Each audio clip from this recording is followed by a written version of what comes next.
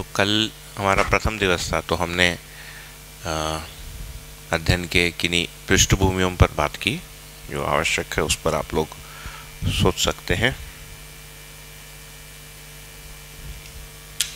ठीक। तो यहाँ पर हम ये जो प्रक्रिया है, अध्ययन की विधि, इसका हम ओवरव्यू ले लेंगे, छोटा सा। अध्ययन की जो हमने एक परिभाषा देखा, उसमें लिखा था श्रवण, मनन और साक्षात्कार की संयुक्त प्रक्रिया अध्ययन है। अध्ययन का मतलब है कि अस्तित्व में जो वस्तु है, उसके साथ तदाकार होना। एक मिनट, ये पॉइंटर टूल चाहिए मुझे। अच्छा ओके।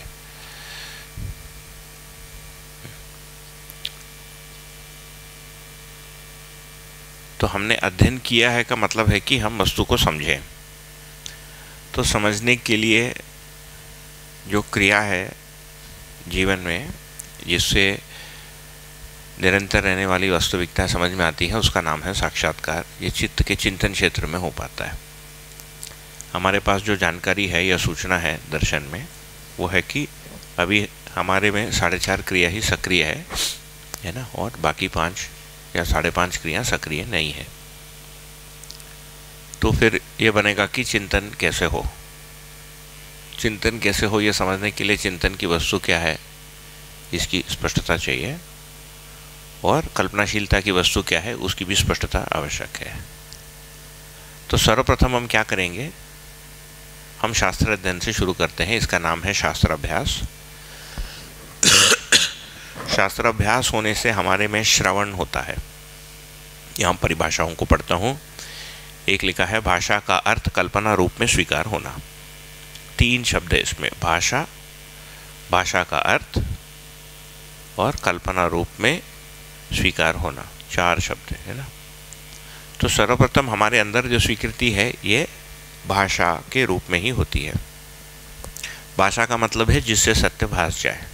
जैसा हम बोलते हैं, वहाँ पर आम का पेड़ है ना? तो हमारे अंदर एक भास होता है, आम नामक वस्तु को हम देखे रहते हैं। शब्द सुनने से अस्तित्व में ऐसा वस्तु है, इसका अनुमान होता है। और वो हमको स्वीकार भी होता है कि वो आम का पेड़ है। ठीक? और इसके और डिटेल में हम जाएँगे कि हम सूचनाओं को हमारे अंदर ग्रहण कैसे करते हैं या वो कैसे ग्रहण होता है। ठीक? ये क्यों चाहिए? क्योंकि क्या समझना है वो मुझे अभी पता नहीं। जैसे एक बच्चा स्कूल में रहता है तो हम उसको बताते हैं कि ये पानी है ये हाइड्रोजन है, है? ये बाघ है। तो बाघ नामक वस्तु को आँखों से देखा रहता है, उसका शब्द नहीं पता है। एक ये संभावना है। दूसरा, कई बार वो वस्तु को देखा नहीं रहता है, उसको शब्द पता रहता है। जैसे अभी इंडिया में स्कूल के टेक्स्ट बुक को खोलेंगे तो उसमें एक आइस का घर दिखाया रहता है, उसको लिखा रहता है इग्लू और इंडिया का को कोई भी बच्चा इग्लू देखा ही नहीं रहता है, और लाखों में एक शायद कभी देख पाएँगे। फिर भी वो इग्लू पढ़ता है स्कूल में इग्लू लिखता है और निकल जाता है। एक बर्फ़ का ऐसा घर बनता है, जो एस्किमो होता है ना, बर्फ़ के इलाके में, ऐसे दिखाते हैं। तो इसमें हो क्या रहा है, उस शब्द और भाषा को बताने से बच्चे के मन में मतलब उसके जीवन में, मन का मतलब जीवन में, जीवन के कौन से भाग? कल्पनाशीलता वाला भाग मतलब साढ़े चार क्रिया में। भाषा का अर्थ यदि प्रतीत होता है उसको या भास होता है तो इग्लू नामक वस्तु उसकी कल्पना में आ पाती है। तो केवल इग्लू शब्द बोलने से होगा नहीं, इग्लू का एक चित्र भी दिखाते हैं, ऐसे गोलाकार, ठीक? वो भी भाषा ही है, चित्र भी एक भाषा ही है। फिर उसकी एक परिभाषा रहती है, इग्लू बर्फ़ का एक गोलाकार का एक घर होता है, जो मात्र बर्फ़ से ही बना रहता है, जिसमें एक छोटी सी दरवाज़ा रहती है, जिसमें एस्क्यूमो नामक लोग झुक के जाके, है ना, सर्दियों में समय या रात को सोते हैं। तो ये परिभाषा देने से ये इग्लू शब्द का अर्थ उसको स्पष्ट होता है। तो ये कहाँ स्पष्ट हुआ? उसके कल्पना में हुआ। ठीक? ये कल्पना जीवनगत वस्तु है, ये शरीरगत वस्तु नहीं है। इसीलिए एक मेंढक को यदि मैं लूँ और मेंढक को इग्लू सिखाने जाऊँ तो मेंढक नहीं समझ पाएगा, क्योंकि उसमें कल्पना की ताकत नहीं है। तो हम ये पूछेंगे कि फिर हमारे इस पद्धति में हम फिर क्यों श्रवण करें? इसको यदि सोचेंगे तो जिन वस्तुओं को हम समझना चाहते हैं, और क्या वस्तुएँ हैं, ये तीन भाग में हमको जानकारी है थियोरी के रूप में। एक है अस्तित्व दर्शन, संबंधित वस्तुएँ हैं। दूसरा, वस्तु मतलब वास्तविकता। केवल ये चीज़ें नहीं, जो अलग अलग इकाई के रूप में है, ये भी वस्तु है। हम्म? फिर मैं सुखी होता हूँ, दुखी होता हूँ, वो भी एक वस्तु है। ठीक है ना? तो ये जो वस्तुएँ हैं, इनके बारे में जानकारी हम चाहते हैं। क्यों? क्योंकि उसको हमने कल मैंने थोड़ा सा कवर किया था कि मैं सुखी होना चाहता हूँ। मेरे सुख के ये चार स्रोत या चार स्तर हैं, जो कल लिखा था उधर, कोने में, ग्रीन में। क्या कलर है ग्रीन, है? हाँ ठीक है। नहीं, मैं वो कलर सोच रहा था, मुझे लगा ब्लू है ग्रीन है।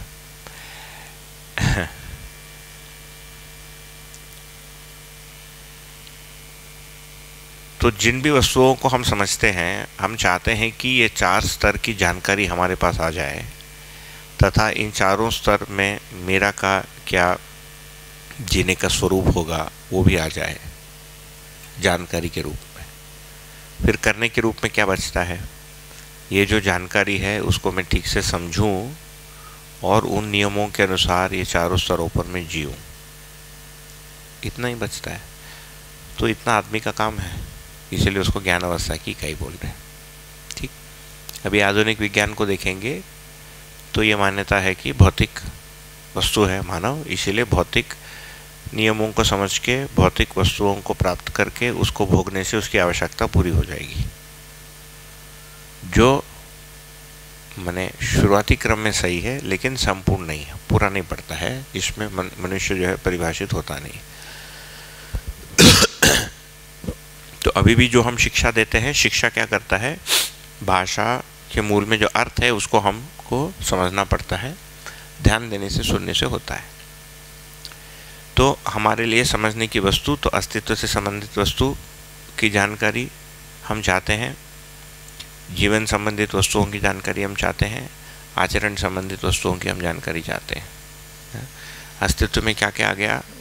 पहला जो सर्कल है, पूरा भौतिक संसार मतलब पूरी जो फ़िज़िकल रियलिटी है, जिसको अभी फिजिक्स और केमिस्ट्री में पढ़ते हैं, उसकी तात्विक रूप सारा आ गया। इसके साथ मानव संपूर्ण आ गया, मानव भी इसी प्रकृति में है।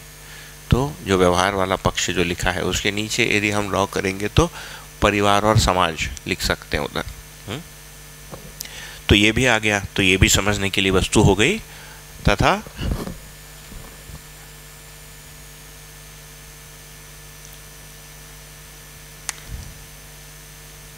बाहर से काला है और अंदर से अंदर से नीला है। अच्छा ये तो नीला ही है।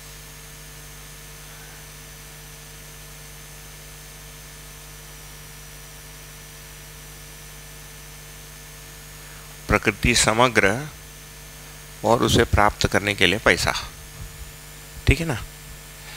भारत के करेंसी का साइन नहीं था, पहले अभी आया है। तो ये पूरा हमारे जीने का जो संपूर्ण जिसको बोलेंगे है ना? परिस्थितियाँ, ये सारे इसमें आ जाते हैं। इसीलिए हम श्रवण करते हैं। तो श्रवण क्यों कर रहे हैं? ये हमको क्लैरिटी चाहिए।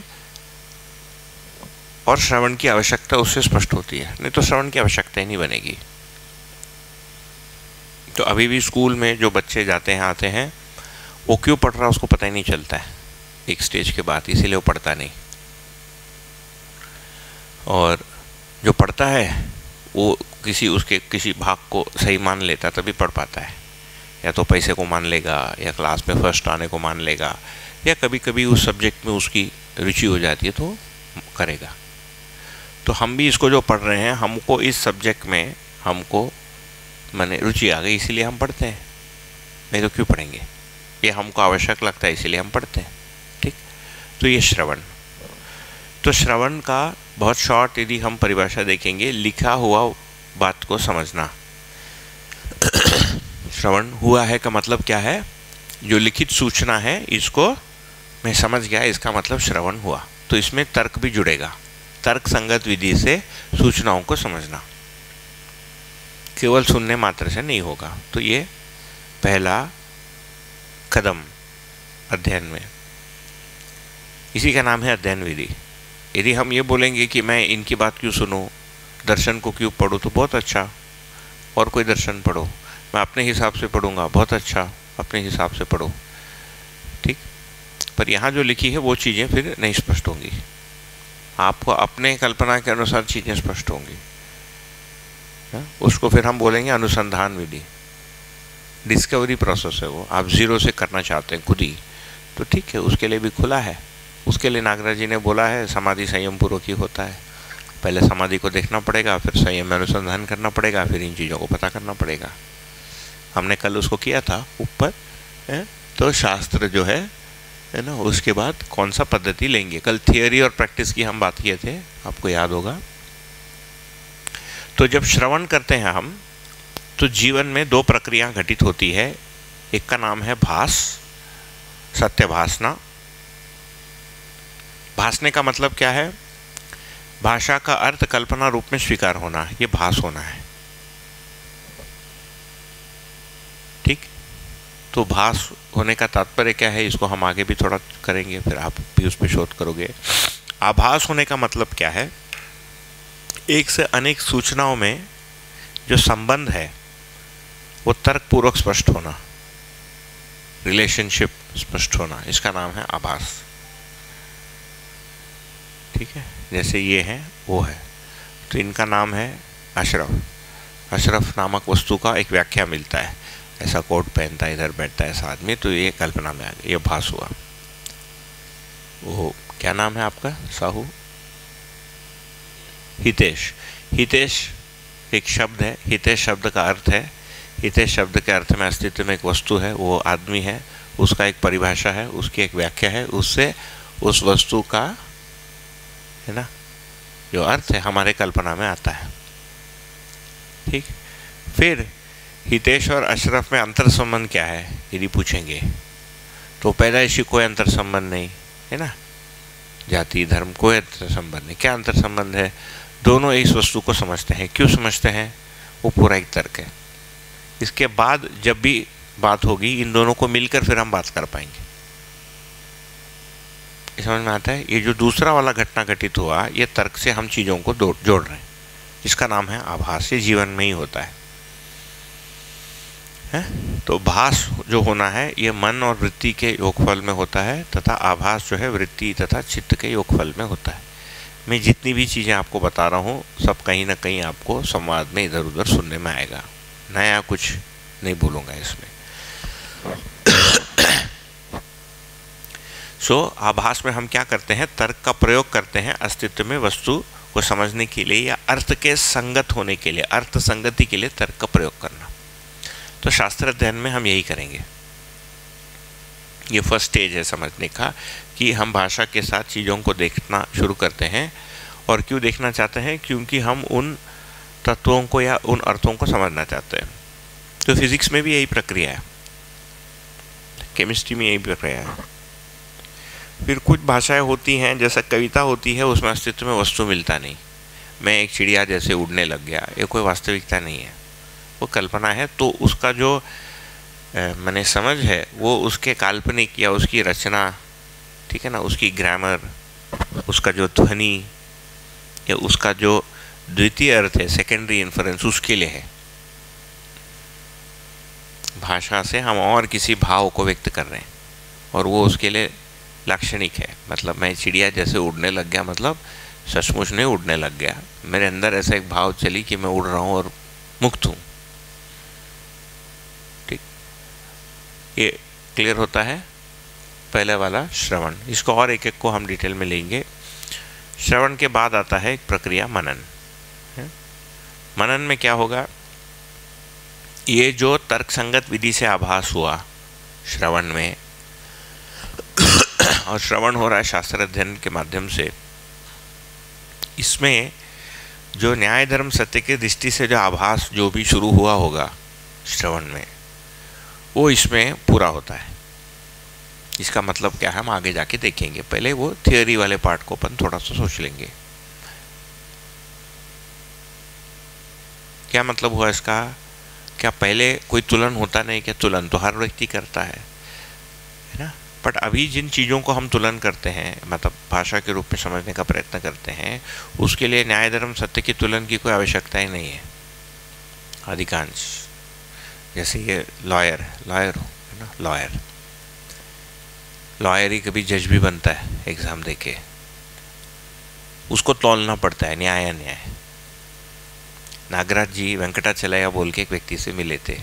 सुप्रीम कोर्ट के चीफ जस्टिस रहे। मैं भी दो तीन बार मिला फिर बेंगलोर जाके। तो नागराज जी उनको, वो उनके दूर के रिश्तेदार भी थे। उनको पूछा कि तुम न्याय समझ गए हो क्या? उस समय चीफ जस्टिस थे वेंकटाचलय। सुप्रीम कोर्ट के वो बोले मुझे न्याय अभी तक समझ में नहीं आया हम लोग फैसला देते हैं। जजमेंट होता है तो उसको तोलना पड़ता है। यदि मैंने हम्म, क्योंकि वो यदि एक कोर्ट्स में सिंसियर यदि जज हो सब में फर्जीबाड़ी होता ही है सबको पता है है ना? बट कभी कुछ एक हाथ मतलब उसमें भी अच्छे लोग होते ही हैं। उनको न्याय न्याय तोलना पड़ता है। लेकिन न्याय की वस्तु नहीं रहती है। अस्तित्व में न्याय वस्तु के रूप में क्या है ये स्थिर कहाँ है? उसकी एक ए, ये लोग बोलते हैं प्रीसीडेंट इसके पहले जो हुआ उसको सही मान लिया जाता है। मेरे पहले जिस जज ने किया है क्योंकि उस ऑफ़िस से वो मोहर लग के निकला उसको सही माना जाएगा। वो आधार बनता है कि मैं जो कर रहा हूँ वो न्याय मैं तो न्याय अपने में परिभाषित नहीं है। बाकी सारे प्रोफेशन में प्रिय हित लाभ से काम चल जाता है। न्याय की आवश्यकता ही नहीं है, धर्म की आवश्यकता ही नहीं है, सत्य की आवश्यकता ही नहीं अभी की शिक्षा। दर्शन में जितनी भी वस्तुएँ हैं, वो न्याय, धर्म, सत्य से ही संबंधित है। ठीक है ना? इसीलिए उसमें टाइम लगता है, क्योंकि हमारे जीवन का या हमारे में अभ्यास ही नहीं रहता उसको पकड़ने का। तो मनन में हम क्या करेंगे? आभास होता है, तुलन होता है तो तुलन होता है न्याय न्याय, धर्माधर्म सत्यासत्य का। किस आधार पर जो श्रवण किया है उसके आधार पर। अपने में कोई तुलन होता नहीं क्योंकि उसके लिए वस्तु ही नहीं है। ये समझ में आता है? मनन करने के लिए श्रवण पूर्वक ही वस्तु मिलता है। मैटर ही नहीं है। या कोई मैटर होगा तो ये जो आपकी श्रवण की वस्तु है, या तो वेदांत से आएगा या बौद्ध धर्म से आएगा, या आप अपना एक पकौड़ी बनाएँगे, या मैं अपना एक पकौड़ी बनाऊँगा, या दुनिया में जो चलती है वो रहेगा, जो प्रचलन में है। अभी दुनिया में प्रचलन में क्या है न्याय? उसने मुझे मारा, उसका गला घोट दो। बदला लेने को न्याय बोलते हैं। अभी फिर एक केस हो गया था, और कोई एक आदमी, एक महिला को पैंतीस टुकड़े में काट दिया। तो उनके पिताजी आए कि उसको फांसी की सज़ा आई वॉन्ट जस्टिस है ना? उसको फांसी की सज़ा देनी चाहिए। वही मीडिया वाले इतने टाइम पास लोग हैं। उसके बाद वो मेरा न्यूज़ न्यूज़पेपर फिर मैंने वो ऐप ही हटा दी। माइक्रोसॉफ्ट की एक न्यूज़ ऐप थी। उसमें से पता नहीं, अचानक पूरे भारत में लोग लोग को काट के फेंक रहे हैं। वो पुरुष ही। फिर कानपुर में कोई काट के फेंक दिया, नोएडा में बारह टुकड़ों में काटा, किसी ने अठारह टुकड़ों में काटा। वो बोलता है कि उसको देख के वो प्रेरित हुआ। ठीक? तो जिसने काटा वो भी न्याय ही कर रहा है। उसको लगता है कि इससे मैं दुखी हुआ अब मैं न्याय करूँगा, कैसे न्याय लूँगा? पैंतीस टुकड़ा करो उसको। काटा ना एक आदमी, काट के उसको फ्रिज में रखा। अभी आया था पेपर में, बहुत फ़ेमस हुआ था।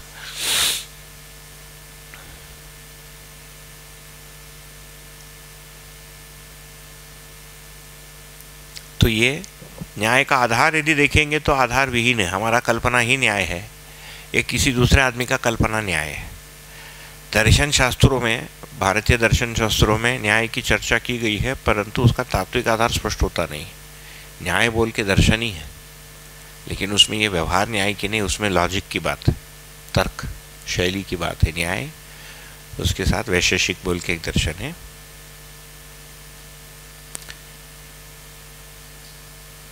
मनुधर्म शास्त्र में लिखा है न्याय। फिर शराया लॉ है, इस्लाम में। गलती करने से कैसे ठीक करना है? ऐसा। तो हर मानव ने इसको सोचा है। कुल मिलाकर अपने लिए मुख्य मुद्दा क्या है?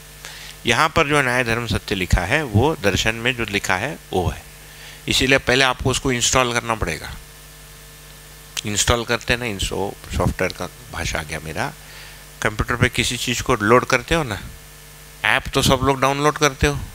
सभी आदमी के पास स्मार्टफ़ोन है और जो ऐप डाउनलोड करते वही इंस्टॉलेशन है। फिर वो खुलता है। सो so, दर्शन के परिभाषा में यदि इसको इक्वलेंट लेंगे ऐप को डाउनलोड करना बराबर श्रवण उसको चलाना बराबर मनन। उसको कैसा चलता है मैं समझ गया बराबर साक्षात्कार। ठीक है? फिर आप दूसरों के लिए ऐप बनाकर देने लग गए उसका मतलब अनुभव। ठीक है ना? ऐसा। मोटा मोटी एक सेंस आने के लिए ना, फिर बाद में मत बोलो श्री राम बोला कि श्रवण फ़ोन में डाउनलोड होता है। मैं ये नहीं बोल रहा हूँ। तो इसमें क्या लिखा है? पढ़ लेते हैं। शास्त्र अध्ययन से प्राप्त अर्थ। ये तो शास्त्र अध्ययन से प्राप्त अर्थ है। किस रूप में है? भाषा रूपी समझ के रूप में है। जैसे यदि हम लोगों से कोई हमारा भाषा छीन लिया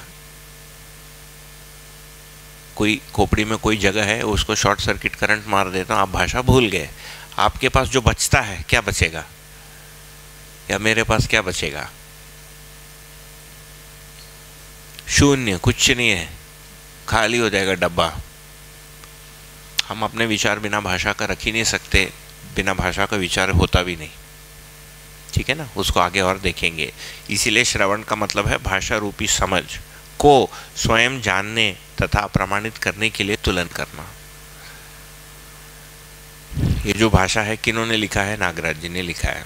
तो नागराज जी का लिखा हुआ भाषा जो मध्यस्थ दर्शन के रूप में है, जो सच्चाई को इंगित करता है, उस भाषा को सुन के, उस भाषा के अर्थ में, उस वस्तु जो हमें आई, उस वस्तु का मैं तुलन करता हूँ। ये क्लियर होता है? तो इसको लिखा है तो ये करते करते फाइनली क्या आएगा? न्याय क्या है? धर्म क्या है? सत्य क्या है? इसके निष्कर्ष में हम पहुँचेंगे, एक कंक्लूजन में पहुँचेंगे। अभी हमारे पास क्या है? न्याय। न्याय क्या है? बोलिए। न्याय क्या है? हैं? अनुकूलता मेरे अनुसार हो। उभय तृप्ति। तो हम क्या मानेंगे? आप न्याय समझ गए। नहीं समझे। फिर क्या बोले आप? जो सुने उसको बताए वो श्रवण है, है? आगे सोचेंगे न्याय क्या है? संबंध क्या है? संबंध को खोलोगे सात में खुलेगा। मूल्यों का निर्वाह खोलेंगे वो अठारह में खुलेगा। उसके मूल में और कौन सा मूल्य है और फिर छः में खुलेगा। उसके मूल में क्या चाहिए फिर विवेक खुलेगा। है ना? फिर तीन नियम खुलेंगे फिर प्रत्येक नियम के फिर पाँच भाग आएँगे। है ना? एक का पाँच एक का तीन एक का चार। ऐसे मिल के पाँच और तीन आठ और चार बारह नियम है। व्यवहार के नियम। हुँ? हम्म? उसके बाद फिर स्वभाव स्वभाव के आधार पर संबंध को पहचानना। सात सात संबंध में अठारह मूल्य, उसमें से नौ स्थापित, नौ शिष्ट ठीक? फिर कुछ वृत्ति से, कुछ मन से, कुछ चित्त से, ऐसा। वो पूरी चीज़ आपके अंदर एक स्ट्रक्चर बनेगी। ये स्ट्रक्चर बनने की जो विधि है, इसका नाम है शास्त्र अध्ययन। ठीक है ना? तो ये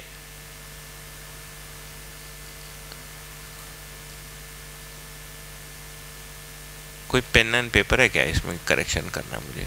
कुछ अपडेट हो गया इसका? इसके, इसका ये भी सॉफ्टवेयर अपडेट होता रहता है ना दो तीन साल में ओ एस अपग्रेड एक बग है इसमें। एक पेन दे दीजिए सॉरी मेरे पास नहीं है पेपर हाँ बस हो जाएगा। ये पेज नंबर क्या है? टू कोई दिख ही नहीं रहा इसमें पेज नंबर मैंने लिखा है फाइव ओके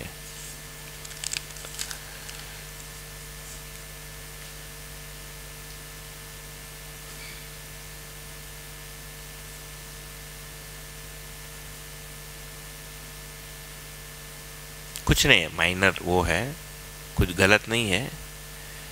इतना है, आप ये सुनने से आप खड्डे में गिरेंगे, ऐसा नहीं होने वाला है है ना? बहुत माइनर कुछ कुछ होगा। तो उसको केवल रिफाइनमेंट की बात है।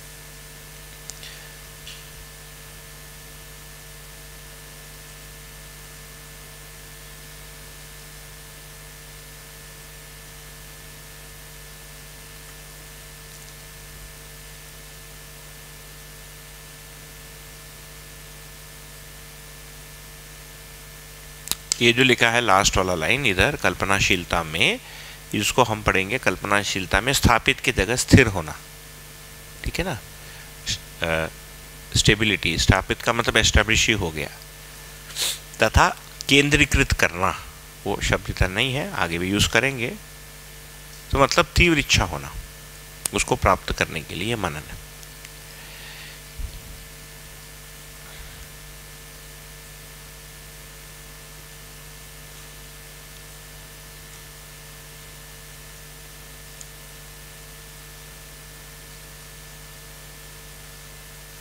तो मनन में क्या करते हैं, जो श्रवण किया हुआ है, उसको अपना कर देखते हैं। कहाँ अपनाएँगे? अपने जीने में अपनाएँगे। तो जीने में अभ्यास करना।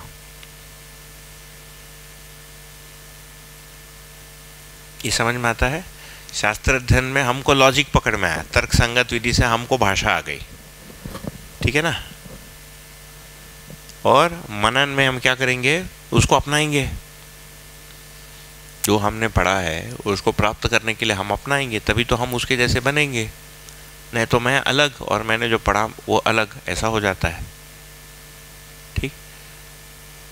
ये जो मनन की यहाँ परिभाषा है, ये मध्यस्थ दर्शन के अनुसार मनन है। वेदांत की दृष्टि से आप मनन को यदि पढ़ेंगे तो कुछ मिलता जुलता रहेगा, कुछ अलग भी रहेगा। मेरे अनुसार तो इसमें जो भी डाउट या शंका मुक्ति जो होनी है, हमको शास्त्र अध्ययन के ही स्टेज में होना पड़ेगा। नागराज जी जो कह रहे हैं, वो सही है, गलत है, ऐसा है, वैसा है, वो तो सीरियस श्रवण में उतरने के पहले ही होगा। उसको हम बोलेंगे कि टेस्टिंग टेस्टिंग फ़ेज़ में निकल जाएगा। जैसा आपको गाड़ी खरीदना आजकल क्या होता है सेकेंड हैंड गाड़ी बड़े बड़े कंपनी बेच रहे हैं। वो क्या करता है वो आपको बोलता है। तो फिर हमने भी एक ट्राई किया ऐसे। तो आप पैसा दे दो पहले। वो बोलता है सात दिन तुम रखो। अच्छा नहीं लगा तो वापस दे दो पैसा वापस। वो टेस्टिंग फ़ेज़ है। सो so, कोई दर्शन सही है कि नहीं? इसमें मैं अपनी ज़िंदगी लगाऊँ कि नहीं? बुद्धि लगाऊँ कि नहीं? समय लगाऊँ कि नहीं? है ना? ऊर्जा लगाऊँ कि नहीं? ये टेस्टिंग वाली फ़ेज़ चलेगी। हर व्यक्ति का अलग होगा। आपका आपका आपका आपका सबका अलग होगा। शंका मुक्ति हो गए उसके बाद उसमें घुस गए। फिर जो पढ़ने की जो दृष्टि है, वो शंका से नहीं है। ये समझ में आता है? जैसा अभी लोग दोनों करते हैं। जो लिखा है वो सही है कि नहीं, ये भी सोचता है। बोलने वाला सही है कि नहीं, वो भी सोचता है। और बोलने वाले में फिर वो उंगली करते रहता है कि ये ये गलत बोल रहा है, वो गलत बोल रहा है, या उसको टेस्ट करते रहेगा। होता है ना? इधर उधर से पूछ के देखेगा, इसको ये आता है क्या? बाद में फिर वही क्वेश्चन पूछ लेगा, देखने को उसको आता है कि नहीं। वो थोड़ी देर के बाद बदमाशी में जा सकता है यदि सिंसियरली कोई यदि करता है तो वो मैंने टेस्टिंग के लिए है वैलिडिटी के लिए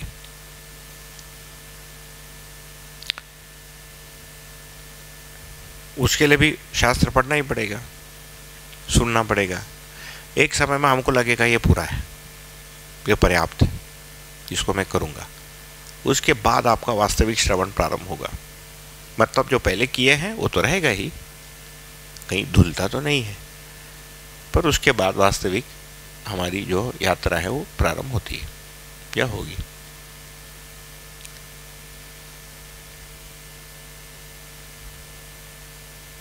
इस वाले सत्र में भाषा तुलनात्मक विधि से कम होगा, सोचना अधिक करना पड़ेगा। लाइन अधिक नहीं है। ठीक है? तो ये करने से एक चीज़ मैंने जोड़ा है, इसको अपडेट करके भेजूँगा घर जाके। जीने में अभ्यास और अपनाना, इससे क्या बनेगा? न्याय क्या है? धर्म क्या है? इसका निष्कर्ष बनेगा।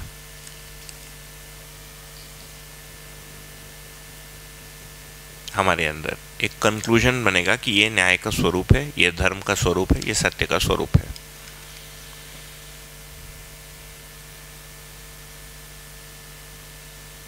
उसके पहले क्या है न्याय को भाषा के रूप में जानते हैं। बोलने में आ जाता है। बेसिकली रिकॉर्डर है वो।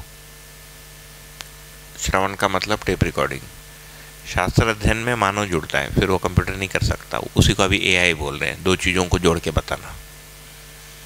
किसी कॉन्टेक्स्ट को लेकर फिर कुछ बताना।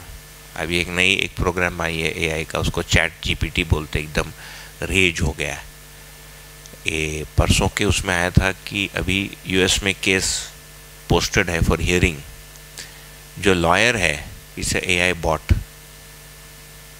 अभी लॉयर की भी ज़रूरत नहीं है। वो इतना डेटा लॉयर को तो रटना पड़ता है ना, कौन से केस में? उसके पास पूरी वो सॉफ्टवेयर आपने फ़ीड कर दी, पचास साल का उस पूरे स्टेट का, पूरे जो केसेस है, वो ठन ठन ठन ठन ठन ला दे देगा कि इसके तो जज तो बेहोश हो जाएगा उससे। जज कोई भी इतना याद थोड़ी रहता है। उसको भी बोलना पड़ेगा, रुक यार, मैं अपने बॉट में चेक करता हूँ। तो याद तो ऐसा। ठीक है? तो ये मनन में हम क्या करते हैं? तो इसको पचाते हैं। शास्त्र से अध्ययन जो हमने किया, जो हमारे अंदर आ गया, उसको पचाते हैं। पचाने का काम है मनन। शास्त्र अध्ययन में भी कुछ पच रहा है बट उसको ऑल घोल बना रहे हैं उसमें। जैसे खिचड़ी पकाना है है ना? पाँच छह चीज़ें चाहिए, उसको लोड करना श्रवण। दाल डाला, चावल डाला, है ना? वो कितने अनुपात में डालना है, वो भी शास्त्र अध्ययन में आएगा। फिर मिल के वो लगेगा कि कुछ है, लेकिन पूरा नहीं है। फिर उसको पकाया हमने, पका के वो घोल बन गया। ठीक? ऐसा है। किन वस्तुओं का? न्याय, धर्म, सत्य का। तो ये क्या हो गया? कल्पनाशीलता में स्थिर होगा। इसका मतलब हम बोलेंगे कि ये तीव्र इच्छा हमारी बन गई। इंटेंस डिज़ायर फिर ये जाता है साक्षात्कार के लिए। क्या जाता है? इसमें से जो वस्तुएँ साक्षात्कार योग्य है, वही साक्षात्कार के लिए जाएँगी। तो मनन में एक बड़ा काम होता है ये पहचानना कि साक्षात्कार की वस्तु क्या है। या शास्त्र अध्ययन के अंत में हम वो करेंगे, या शुरुआत से सोचेंगे, और वो धीरे धीरे स्थिर होगा हमारे अंदर कि साक्षात्कार की वस्तु क्या है। क्योंकि वस्तु क्या है, वो क्लियर हुए बिना साक्षात्कार होगी? क्या लगता है आपको? जैसे शादी में साक्षात्कार होता है ना, पत्नी के साथ। ठीक है ना? मैं आदमी से विवाह करूँगा कि महिला से करूँगा कि गाय से करूँगा कि भैंस से करूँगा, ये क्लियर ही नहीं है। तो विवाह हो पाएगा? होगा साक्षात्कार। अभी उसको साक्षात्कार बोलते हैं ना इंटरव्यू को। आमने सामने आना। आपको साक्षात्कार के लिए बुलाया जाता है। रूप को देखने को साक्षात्कार मानते हैं। ठीक है? आपको क्लियर ही नहीं है किस एंटिटी से साक्षात्कार होना है, वो कैसा होगा? मैं मिलने जा रहा हूँ। किसको? वो पता नहीं यार। किसी को किसी को तो मिलूँगा। मिल पाओगे? वो सामने आ भी गया तो आप पहचान ही नहीं पाएँगे, क्योंकि आपको पता ही नहीं किसी को पहचानना था। बराबर? तो मनन पूर्वक हम साक्षात्कार की वस्तु, इसका नाम है जानने मानने की वस्तु और जीने की वस्तु, पहचानने, निर्वाह करने की वस्तु। इसको विवेचना पूर्वक हम तय कर पाते हैं। इसमें हमारा, है ना, मन स्थिर होता है। फिर वो साक्षात्कार होता है। साक्षात्कार के लिए और एक शब्द है, प्रतीति। क्या प्रतीति होना है? न्याय, धर्म, सत्य प्रतीति होना है। जो वस्तुएँ हैं। दूसरा भाषा इसके लिए देना है, दिया है तदाकार होना। यह तदाकार होने का प्रारंभ है।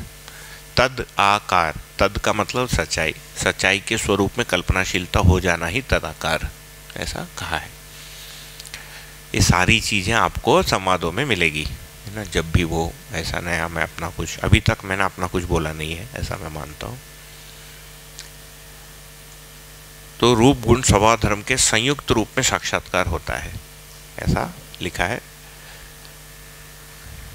एक मिनट, में एक सेकंड डिस्ट्रैक्ट हो गया। मैं ये सोच रहा हूँ कि इसके हाइट को बढ़ाने का कोई जुगाड़ है क्या? कुछ सोचो। वो वो वो छोटा तकिया देना? हाँ। वो देकर देखिए, कुछ भी। ये बार बार मेरे को झुकना पड़ रहा है। हाँ ठीक है। बढ़िया। ये शानदार हो गया। बस, धन्यवाद। वो न्यूज़ रीडर होते हैं ना, ऐसा लगता है कि कैमरा को देखकर बोल रहा है बट पीछे स्क्रीन होता है। ऐसे ही। तो साक्षात्कार के लिए परिभाषा है अस्तित्व में नाम से इंगित वस्तु स्पष्ट होना या स्वीकार होना। दूसरा एक भाषा आया है अध्ययन पूर्वक स्वयं में हुई स्वीकृति के अनुरूप अस्तित्व में वास्तविकताओं के साथ तदाकार होना। तो ये जो स्वीकृति हुई है हमारे अंदर, ये श्रवण और मनन पूर्वक हुई है, या मनन पूर्वक हुई है, वही आगे जाके साक्षात्कार के लिए जाएगा। जो साक्षात्कार योग्य वस्तु है, जो साक्षात्कार योग्य वस्तु नहीं है, वो जीने तक ही रह जाएगा। या करने तक ही रह जाएगा। उदाहरण के रूप में ये जो प्रोजेक्टर है, ये कैसे चलता है, इसके नियम साक्षात्कार के वस्तु नहीं है। जानने मानने की वस्तु नहीं है। तो मनन में एक बड़ा एक चीज़ होता है हमको करने के लिए कि जानने मानने की वस्तु और पहचानने निर्वाह करने की वस्तु को हम क्लियर कर लें।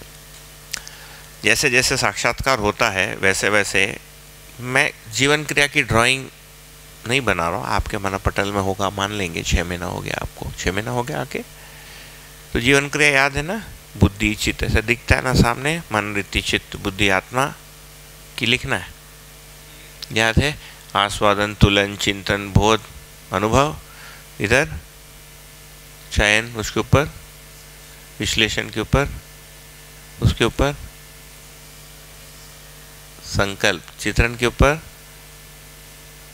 संकल्प के ऊपर,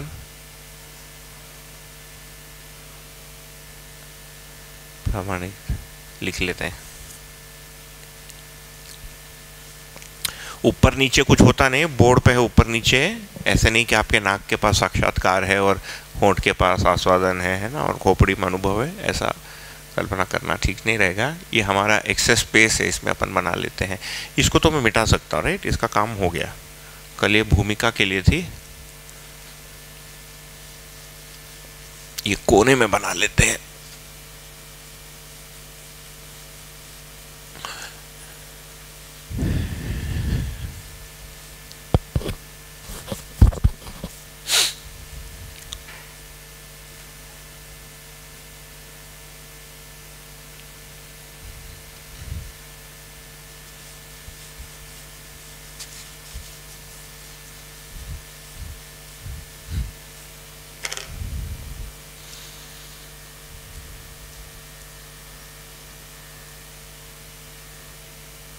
आस्वादन स्थिति में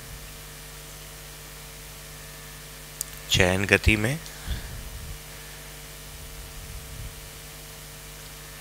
तुलन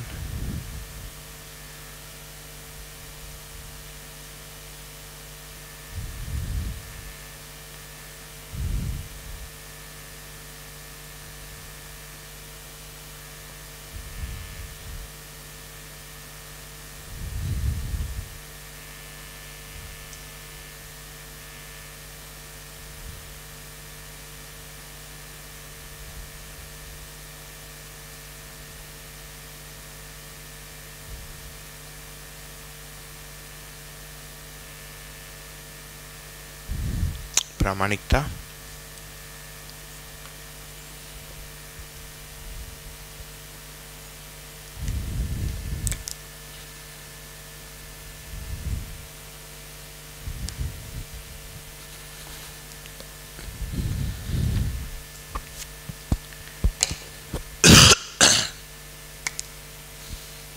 तो ये हो गया इसका नाम है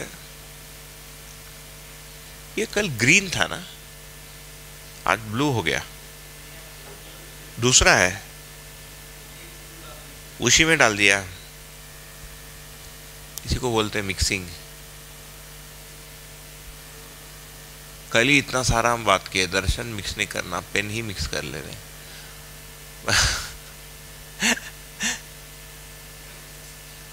इसका नाम है शक्ति। ठीक है ना?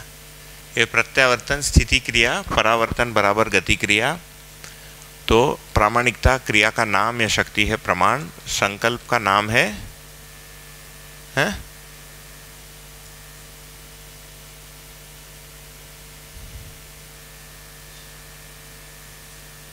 मैं अलग कलर में इसीलिए लिख रहा हूँ ताकि एक गति क्रिया है, दूसरा उसका शक्ति है या उसका नाम है, ताकि वो भी हमारे, मैंने मन पटल में ठीक से बैठे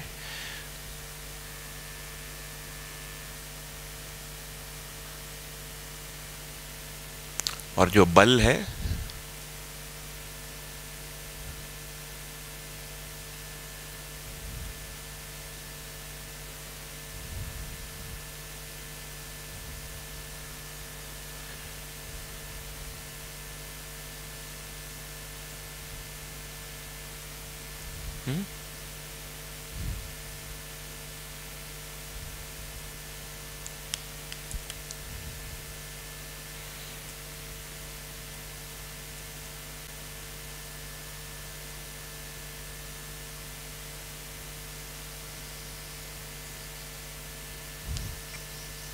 एक सेट ये है।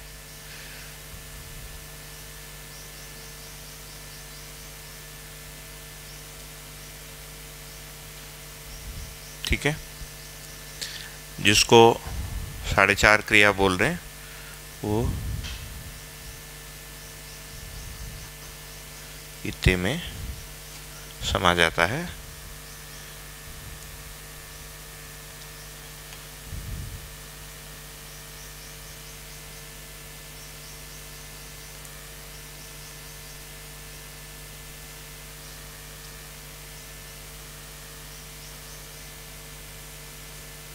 है जैसे अभी आप आस्वादन कर रहे हो तो ये क्या है? रुचि मूलक मूल्य मूलक कि लक्ष्य मूलक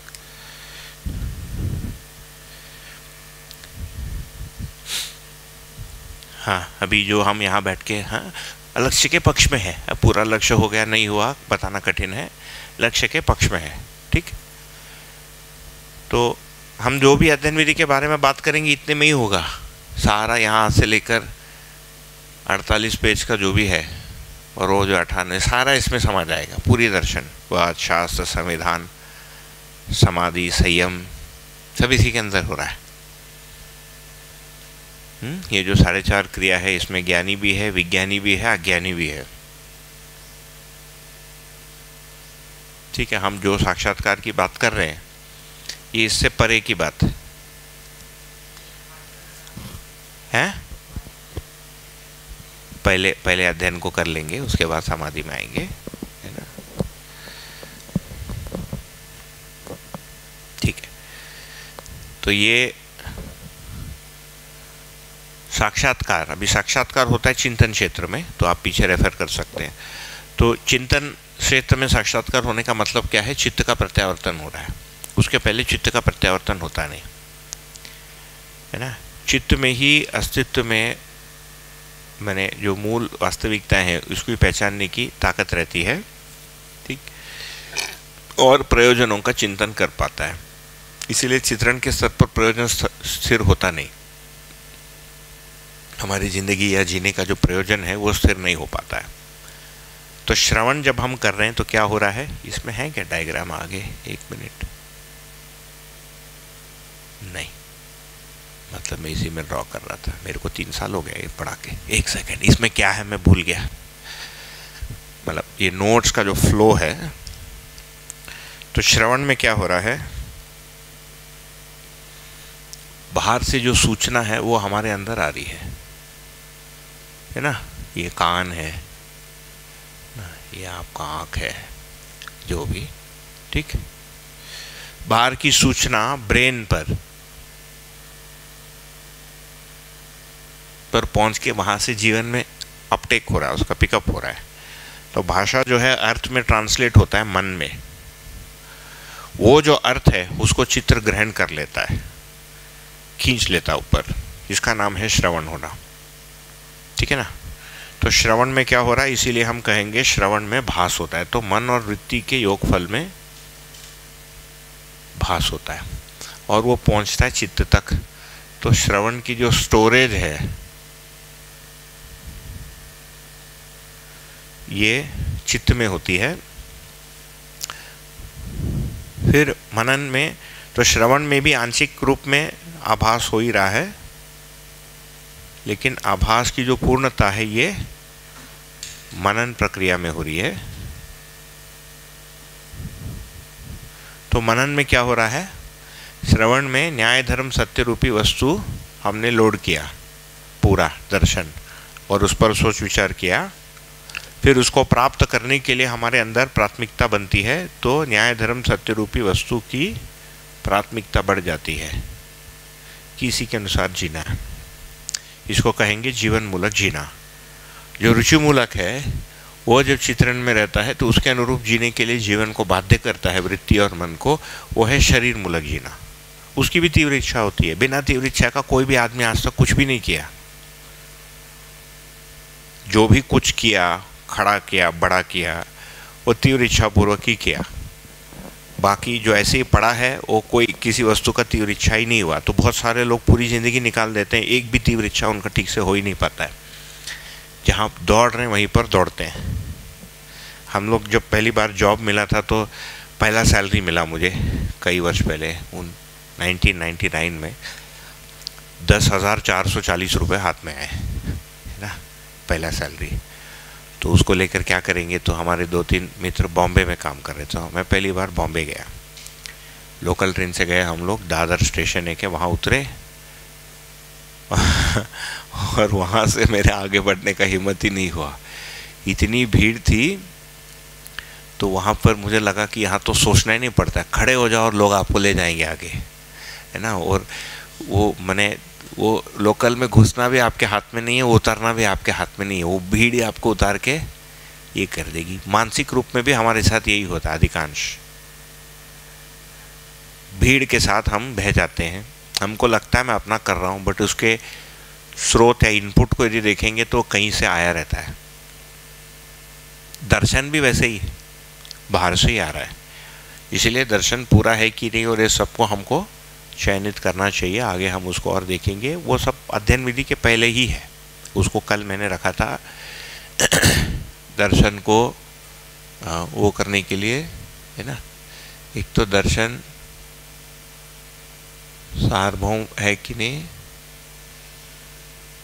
यूनिवर्सल। सार्वकालिक है कि नहीं? पेरेनियल समझा सकती है कि नहीं? लॉजिकल या रैशनल जीने में आता है कि नहीं? लिवेबल है ना? ह्यूमन हैप्पीनेस से जुड़ा है। जीने में आएगा मतलब मनुष्य के सुख से जुड़ता है। और संपूर्ण है कि नहीं? कंप्लीट है ना? या कॉम्प्रिहेंसिव ये चेक करना चाहिए, दर्शन को। इतने पैरामीटर्स हैं इसको चेक करने के लिए, ठीक है? ये पाँच चीज़ें, हिंदी, इंग्लिश दोनों में लिख दिया। मैं पहले उसको इंग्लिश में सोचा था, फिर इसलिए इंग्लिश वाला। अभी हम कुछ पढ़ते हैं, ये सब कुछ सोचते नहीं, ऐसे ही ले लेते हैं अंदर। कुछ भी पढ़ते हैं, अंदर घुस जाता है। ठीक है? तो ये हो गया मनन। मनन में क्या हुआ? न्याय, धर्म, सत्य रूपी वस्तु जो हमने श्रवण किया है, उस पर हम मनन करेंगे। मनन करने से क्या होगा? उत्तुलन पूर्वक उसका निष्कर्ष बनेगा। फिर उसको प्राप्त करने के लिए हमारे अंदर प्राथमिकता बनती है। हमारे अंदर मतलब जीवन में, चित्त में, वृत्ति में, है? तो जो शरीर मूलक जीने के लिए जो भी वो था, हमारा ऊर्जा का बहिर्गमन हो रहा था वो जीवन से संबंधित वस्तुओं को समझने के लिए तथा मानवीयता से संबंधित वस्तुओं के लिए बन जाता है। ये होने से चित्त का प्रत्यावर्तन होता है। ठीक? कुछ बेच रहा है कोई? तो इसका नाम है साक्षात्कार। जैसे चित्त में साक्षात्कार हुआ, वो बुद्धि में स्वीकार हो जाता है। इस घटना का नाम है प्रतीति। स्वीकार होके, निष्ठा के रूप में होके फिर आता है। इसको कह रहे हैं अध्ययन। ये जो हुआ इस रीजन में दिस इज़ कॉल्ड अध्ययन या निरिध्यासन। तो श्रवण मनन निरिध्यासन। ठीक है? इसमें बुद्धि का, ये बुद्धि के दो ब्रांच बना दूँगा। एक जो ब्रांच है बुद्धि का, और लेटर से संकल्प के दो ब्रांच, है ना? दो भाग, दो क्रिया, ये आधा क्रिया बुद्धि का जुड़ जाता है। वही वहाँ पर लिखा है। ये एक बार होने के बाद पुनः होता है, पुनः होता है, पुनः होता है। होते होते एक जगह ये स्थापित हो गया या स्थिर हो गया, इसका नाम है अवधारणा।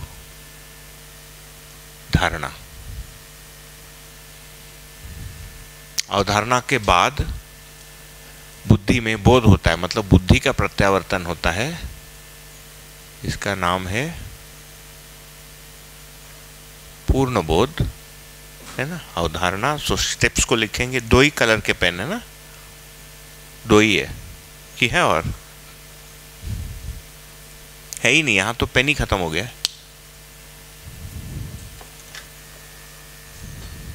नहीं है। ठीक है रानी जी, कोई दिक्कत नहीं, कुछ नहीं, वो आपको विजुअलाइजेशन में इजी पड़ेगा, बाकी कुछ नहीं। थोड़ी देर में इतने शब्द हो जाएँगे तो उसको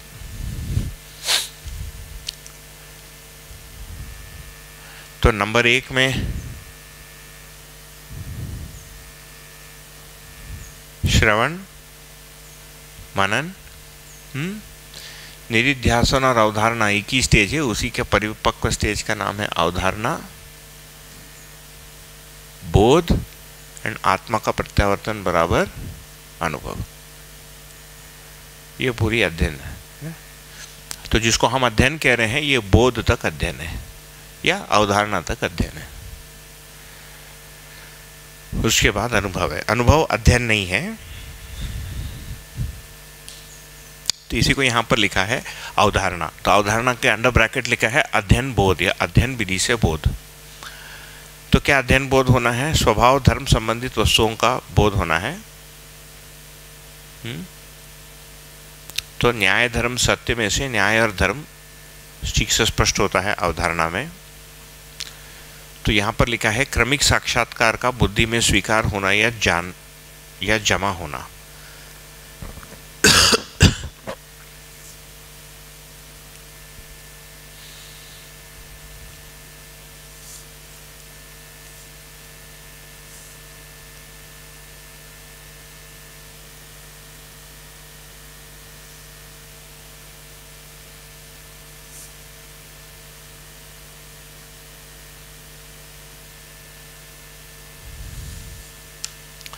तो अवधारणा बराबर अध्ययन बोध बराबर प्रतीति हम्म, प्रतीति होते अवधारणा होता है।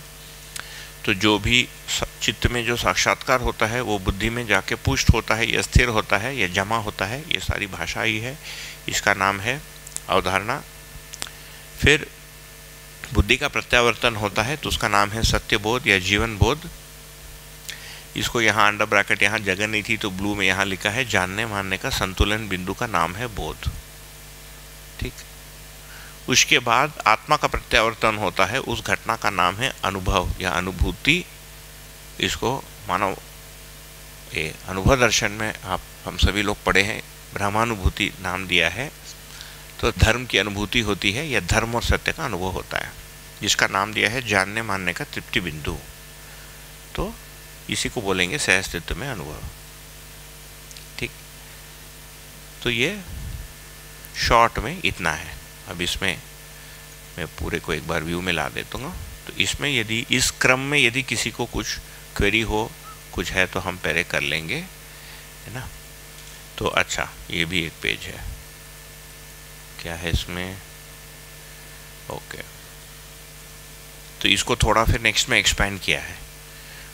पहले इस क्रम में कोई वो है तो बताइए। फ़र्स्ट वाले पेज में मैं एक पॉज ले लेता हूँ। है ना? आप लोग थोड़ा सा मंथन कीजिए इस पे।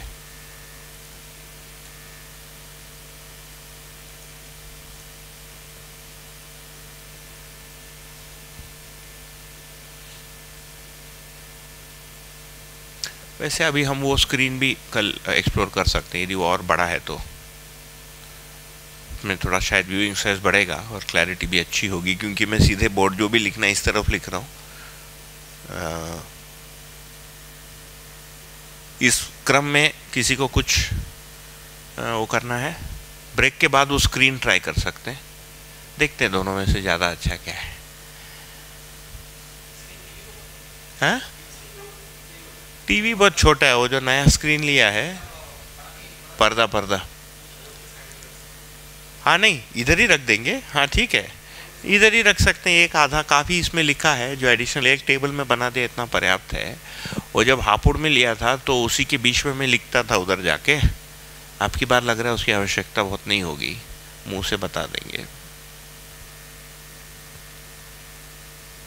इस क्रम में किसी को कुछ शास्त्र अध्ययन बराबर श्रवण, मनन, साक्षात्कार साक्षात्कार का स्थिर होना, बराबर अवधारणा, अध्ययन बोध फिर बुद्धि का प्रत्यावर्तन, उसका नाम है पूर्ण बोध उसी को नाम लिखा है सत्य बोध जीवन बोध। उसके बाद आत्मा का प्रत्यावर्तन, बराबर अनुभव। प्रत्येक में क्या होता है? यहाँ पर छोटा ओवरव्यू दिया है। प्रक्रिया का अवलोकन।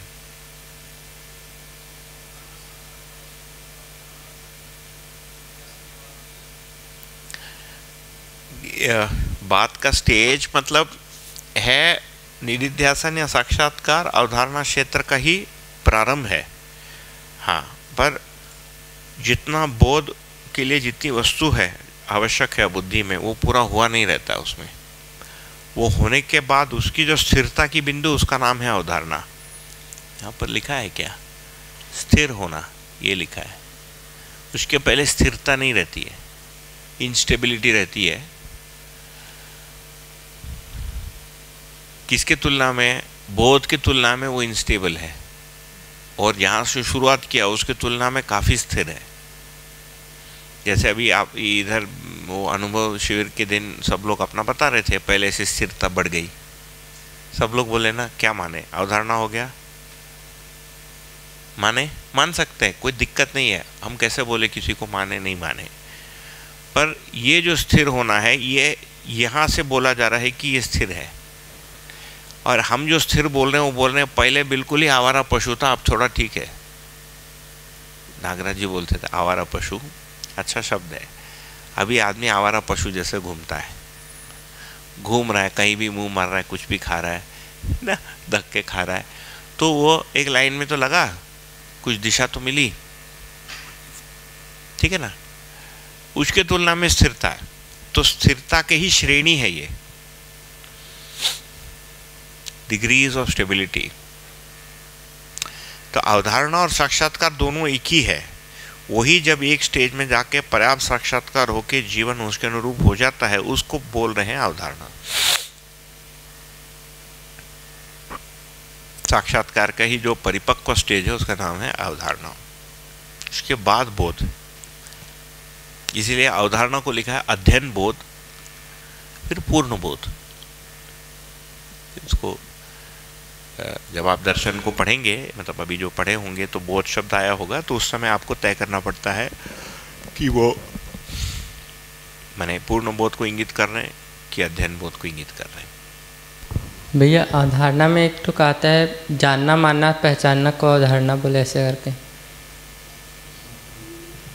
हम्म? जानना मानना और पहचानना उसको अवधारणा बोले एक जगह परिभाषा संहिता में।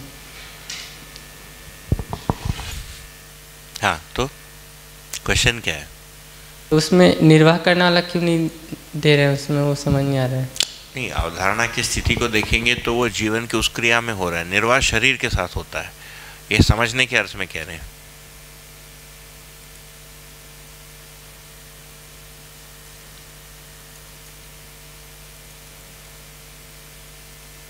ये दस पचास हो रहा है ना? ये टाइम गलत बता रहा है इसको ठीक कर देते हैं।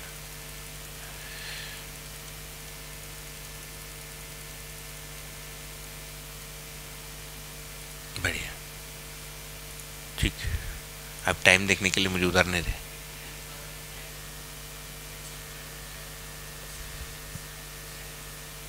हाँ वो रियलिटी का अप्रोक्सीमेशन हो जाएगा हमारे अंदर और उसे हम कन्विंस्ड भी होंगे। श्रवण भी एक बहुत पावरफुल स्टेट है कंपेयर टू अभी जहाँ पर है।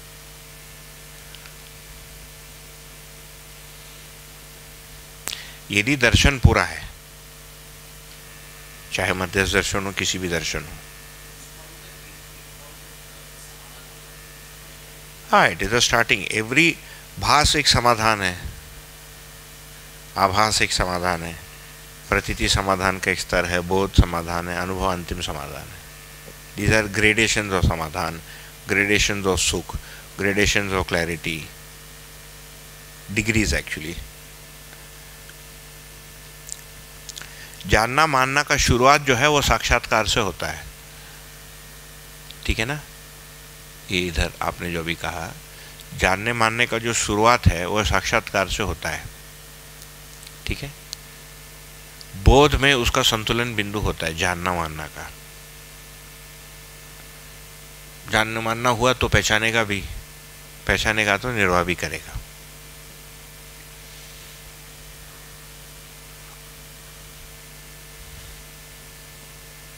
भैया वो चित्रण में जो श्रवण लिखे वो भी चित्रण में है मनन भी चित्रण? जो भी होगा जीवन में मन भी होगा वृत्ति भी होगा चित्त भी होगा। श्रवण जाके जहाँ डिपॉजिट होता है उसका ना वो चित्रण है। मनन?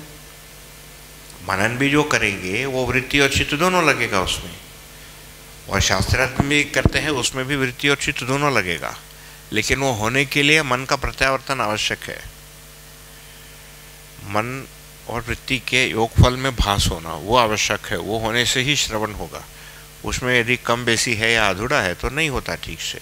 जितना अंश में होता है उतना समझा हुआ मानता है।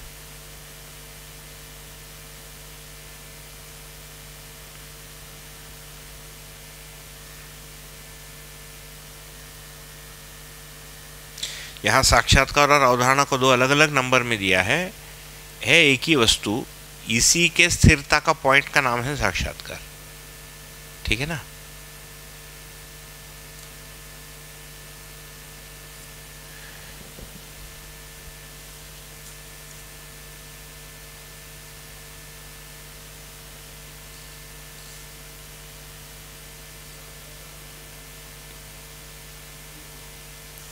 जानना मानना हाँ बुद्धि में होता है। चित्त से शुरुआत हो जाता है साक्षात्कार।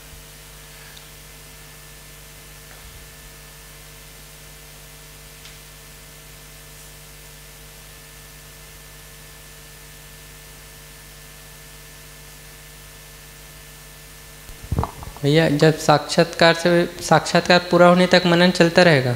है? मनन क्रिया साक्षात्कार सबका साक्षात्कार पूरा होने तक चलता रहेगा? हाँ मनन चलता रहेगा अवधारणा के बाद भी मनन होगा। और साक्षात्कार के पूर्व मतलब श्रवण कंप्लीट हो जाएगा? कंप्लीट होने के बाद से मनन स्टार्ट और उसके बाद साक्षात्कार? उसके बाद साक्षात्कार। बोध के बाद भी मनन होगा। अनुभव के बाद भी मनन होगा, वो प्रमाणित करने के लिए मनन होगा, ये उसको प्राप्त करने के लिए मनन करेगा।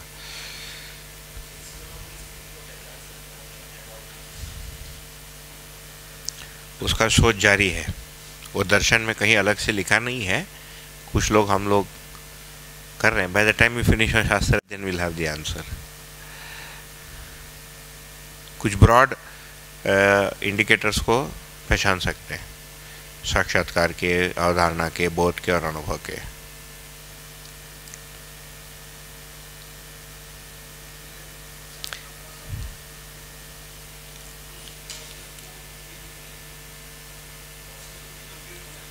नहीं, साक्षात्कार होता है तो साथ साथ बुद्धि में वो प्रतीत होते जाता है। वो प्रोसेस नहीं है वो। वो अपने आप होता है। चित्त में जैसे ही साक्षात्कार हुआ, वो अपने आप ही बुद्धि में स्वीकार हो जाएगा। इस घटना का नाम है प्रतीति। चित्त का साक्षात्कार प्लस बुद्धि में स्वीकृति इज़ इक्वल टू प्रतीति। वही अध्ययन बोध का शुरुआत है। है ना? बुद्धि का जो क्षेत्र है, वो भर रहा है वस्तु से। ठीक है ना? इसीलिए मन और वृत्ति के योगफल में भास, वृत्ति और चित्त के योगफल में आभास, चित्त और बुद्धि के योगफल में प्रतीति, बुद्धि और आत्मा के योगफल में अनुभूति ऐसा है। तो भाष यदि बोल रहे हैं तो उसमें दोनों क्रिया शामिल है। मन भी, वृत्ति भी। जैसे ही होता है, वो चित्त में भी आ जाएगा। उसका रिकॉर्ड फिर वृत्ति और चित्त के योगफल में आभास। उसमें मन का भास समाहित है। वैसे ही वृत्ति और चित्त के योग, चित्त और बुद्धि के योगफल में प्रतीति। उसमें चित्त में साक्षात्कार भी हो रहा है, बुद्धि में भी स्वीकार हो रहा है। इस घटना का नाम है प्रतीति। और वैसे ही बुद्धि और आत्मा के योगफल में अनुभूति। बुद्धि में तो बोध हो ही रहा है और आत्मा भी उसका रिश्ता बना हुआ है। ये अनुभव। फिर आत्मा में या उसके साथ आत्मा का प्रत्यावर्तन, बराबर अनुभव। भैया, जो मनन करते रहेंगे, वो साक्षात्कार के लिए मतलब उसको प्रैक्टिस करते करते होगा? मतलब आचरण में लाते लाते साक्षात्कार होगा? कि ऐसे बस तर्क को सोचते सोचते नहीं होगा। दोनों करना पड़ेगा। तर्क को भी सोचना पड़ेगा, प्रैक्टिस भी करना पड़ेगा, उसको आगे देखेंगे।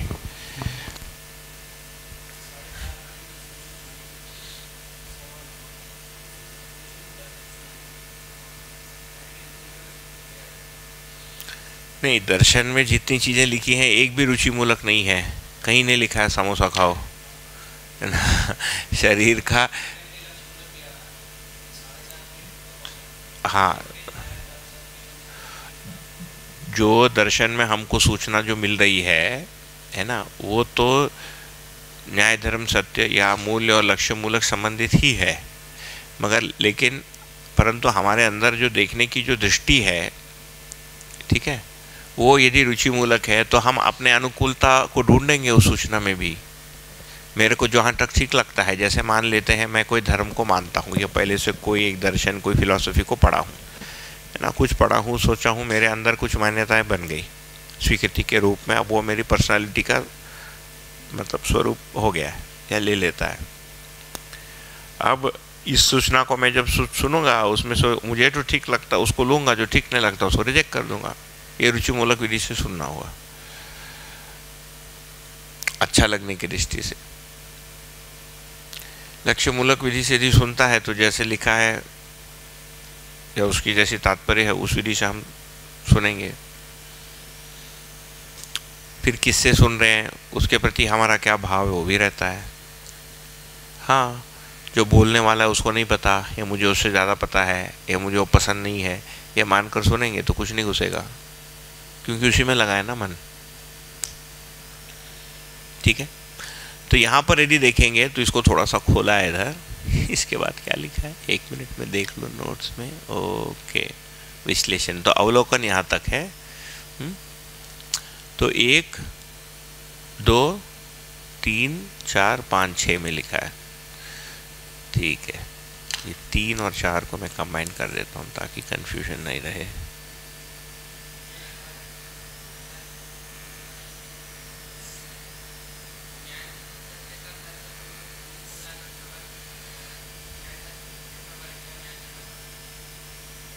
वही यहाँ लिखा है। वरीयता, तीव्र इच्छा ही वरीयता है। ये परिभाषा कहीं लिखा नहीं है, आपने किसी से सुना है या किसी समाज से बोल रहे हो? है? परिचय शिविर में श्रवण मनन के बारे में कोई बात ही नहीं करता होगा। नहीं, कौन बताता है? कोई पूछेगा तो बताएँगे, अधिकांश आदमी वहाँ तक पहुँचता ही नहीं है परिचय शिविर। मैं आज तक एक आदमी को नहीं मिला जो अध्ययन कैसे करना है ये परिचय शिविर में पूछे। इसका ये भी हो सकता है कि हमारे परिचय शिविर ऐसे क्वेश्चन पैदा करने के लिए डिज़ाइन ही नहीं है। है ना? वो साड़ी, घोड़ी, लड़का, वो उसी में चले जाता है। आदमी को इंटरेस्ट ही नहीं है ना। बेहोश हो जाएगा। अभी आदमी क्या है? वो साड़ी देखता है, गाड़ी देखता है, घोड़ा देखता है, कुछ करता है कन्फ्यूज़न है। ठीक है, कहीं तो सुने हो। परिचय शिविर में तो नहीं होगा और पुस्तक में भी नहीं लिखा है। ठीक है ना? कहीं ये जो अंतराल है, कोई आया होगा, वो ठीक है। तो पठन या श्रवण में यदि हम देखेंगे पहले में तो इसको यहाँ पर ऐसे चित्रित किया है, भास का पूरा होना तथा आभास प्रारंभ हो जाना, है ना? तो अर्थ और तर्क दोनों मिटता है। लिखा हुआ को समझना, ये बराबर श्रवण। तो श्रवण को लिखा है, कल्पनाशीलता के लिए निर्देशिका है भाषा। आपको डायरेक्शन देता है। आप यहाँ से गाड़ी चला के रायपुर जा रहे हो बीच में लिखा रहता है रिटायर विद डिग्निटी है ना? सम्मानपूर्वक रिटायर है वो आपको निर्देश दे रहा है कि रिटायरमेंट के बाद तुम अपना डिग्निटी बना के रखो। इसका मतलब एचडीएफसी का इंश्योरेंस पॉलिसी अभी खरीद लेना। ये निर्देशिका है। एक आदमी आइसक्रीम खा रहा है, उसका ना आइसक्रीम टपक रहा है उसके मुँह से। वो भी एक निर्देशिका है कि मेरे मुँह से भी ऐसा टपके। इंसेप्शन बोलते हैं उसको ना, वो इंसेप्शन करा रहा है। इसको करके हम चाय के लिए चले जाते हैं। ठीक है? तो ये कल्पनाशीलता के लिए निर्देशिका हो गया।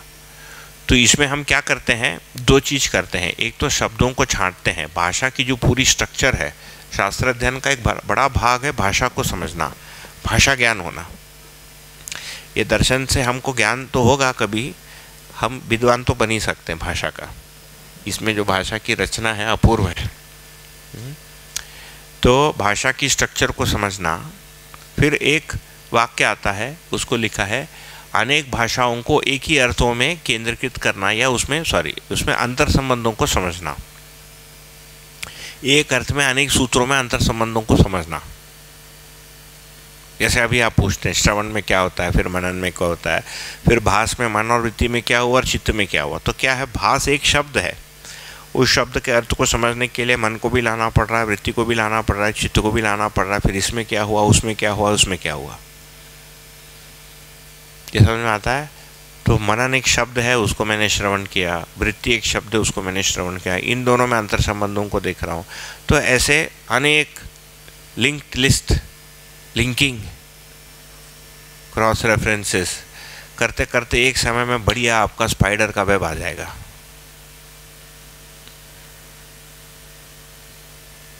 पूरा। दर्शन का भी और दर्शन से इंगित वस्तु का भी। उसके पहले क्या होगा? आपका टूटा रहेगा। थर्ड ऑर्बिट टूटा है चौथा ऑर्बिट टूटा है यहाँ से यहाँ की लाइन नहीं बनी यहाँ से यहाँ की लाइन नहीं बनी। इसको मैंने गलत सोच लिया उसको गलत सोच लिया। है ना? आठ पटा सा लगेगा आपका। स्पाइडर स्पाइडर क्या बोलते हैं उसको? चिपकली नहीं क्या? वो मक, मकड़ा। मकड़े का जाल। बट ये वो टू डी में रहता है, ये मकड़े का जाल ऐसा होलोग्राम है स्फेरिकल है, दर्शन। ऐसा है। न्याय से शुरू करो, नियंत्रण मिलेगा, नियंत्रण से करो, संतुलन मिलेगा, संतुलन से शुरू करो, व्यापक वस्तु मिलेगा, व्यापक से फिर नियंत्रण हो जाएगा। इधर से शुरू करो, जीवन क्रिया होगा, जीवन क्रिया में नियंत्रण हो जाएगा, जीवन में नियम होगा, नियम ही न्याय हो जाएगा, ऐसा घूम जाएगा। संबंध शुरू करो तो संबंधों का पहचान, उसमें जाओ तो प्रयोजन। प्रयोजन कहाँ समझ में आता है? तो चिंतन क्षेत्र में समझ में आता है। है ना? चिंतन कैसा होगा? मनन पूर्वक होगा। मनन के लिए क्या करना है? श्रवण होगा। ऐसा घूम जाएगा। ये पूरा जो है एक मध्यस्थ दर्शन की जो लिटरेचर है, यदि उसको मैं अपना भाषा देना जाऊँ तो पूरे अस्तित्व की जो स्ट्रक्चर है उसके स्वरूप में भाषा का जाल ऐसा बना है। एक तंत्र होता आप देखें तंत्र। श्री यंत्र लिखा रहता है उस पर श्री यंत्र से। अभी कुछ लोग उसके नीचे शुभ लाभ लिख देते हैं। बट वो उपासना के लिए यंत्र है। उसको सॉल्व करना पड़ता है। तो एक यंत्र के रूप में बनेगा। ठीक है? अभी चाय पी लेते हैं। वापस आएँगे। इसको, ये गति ठीक है? इतने ही स्पीड से हम चलेंगे। इसमें जल्दी करके कुछ होगा नहीं। इस गति से हम जहाँ तक पहुँचें, वही हमारा शिविर पूरा हो जाएगा। ठीक है?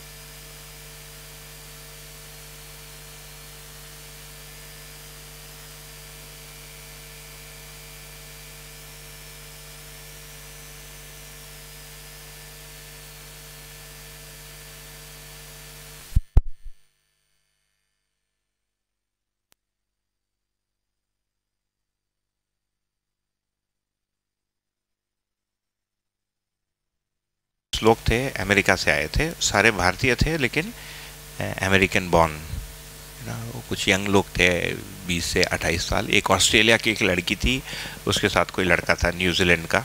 हो गया इस बात को 2011 की बात है तो 11 वर्ष हो गया इस बात को।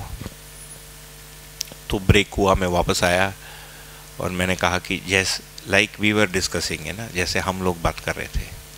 तो एक लड़की का हाथ उठा, बोला, हम कहाँ डिस्कस कर रहे हैं? तुम ही बोले जा रहे हो एक दिन से. तो मैं बोला, ये बढ़िया मुद्दा है, हमको ये डिसाइड करना पड़ेगा कि आप लोग इधर मुझे सुनने आए हो, कि मैं इधर आपको सुनने आया हूँ, या हम एक दूसरे को सुनाने आए हैं। ये डिसाइड हो जाए, उसके बाद हम शिविर आगे बढ़ाएँगे। है ना? क्योंकि उनका एक महीने का वो इंडिया का कोई टूर होता है, उसमें इन्होंने पाँच दिन का एक शिविर घुसेड़ दिया। और वो परिचय शिविर होता अपने विधि से, उस समय भी मैं अपने हिसाब से लेता था। तो ये हम देख सकते हैं कि पठन से श्रवण होता है। जो भी मैं पढ़ता हूँ, श्रवण हो जाता है, ये आवश्यक नहीं है। आँखों के सामने से निकल जाता है। इसीलिए सेकंड टाइम पढ़ने से लगता है कि ये पिछले बार मैंने ध्यान नहीं दिया था। पढ़ा रहता है, श्रवण नहीं हुआ रहता है। तीसरे बार पढ़ने से और एक चीज़ जुड़ती है, चौथे बार पढ़ने से और किसी वस्तु पर ध्यान जाता है, पाँचवें बार पढ़ने से और किसी बात पर ध्यान जाता है। है? और प्रत्येक व्यक्ति के जीवन का पहले से जो ध्येय है, जो आप सोचे हैं, जहाँ पर आपकी जीवन की जिज्ञासा गई है, या जिन परिस्थितियों से आप गुजरे हैं, उस पर आपका कोई एक इच्छा या कोई कल्पना बनी रहती है, उससे हम प्रारंभ करते हैं। तो फिजिक्स पढ़ा हुआ आदमी अस्तित्व दर्शन से प्रारंभ करेगा। है? सोशोलॉजी का आदमी न्याय और धर्म से प्रारंभ करेगा। जो वेदांत दर्शन टाइप की चीज़ें पढ़ा आदमी, वो फिर तत्वों को सोचेगा। कुल मिलाकर सबको फिर सारी चीज़ों पर सोचना है। तो पठन से श्रवण होता है। श्रवण कैसे होता है? उसके लिए जो अभ्यास है, उसका नाम है शास्त्र अध्ययन है शास्त्र अभ्यास इसीलिए उनको ऐसे लिखा गया है। तो अनेक भाषा को एक अर्थ में देख पाना या सूत्रों में अंतर संबंध को देखना।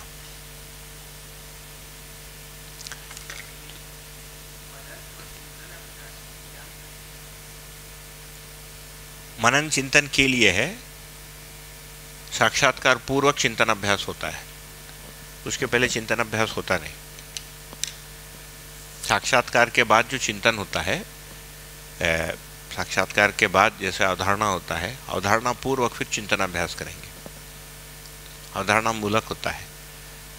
अध्ययन विधि में वो साक्षात्कार के लिए ही अभ्यास, इसीलिए ब्लू में लिखा है उसको, चिंतन अभ्यास। तो हम जो मनन करते हैं, वही साक्षात्कार के लिए अभ्यास है।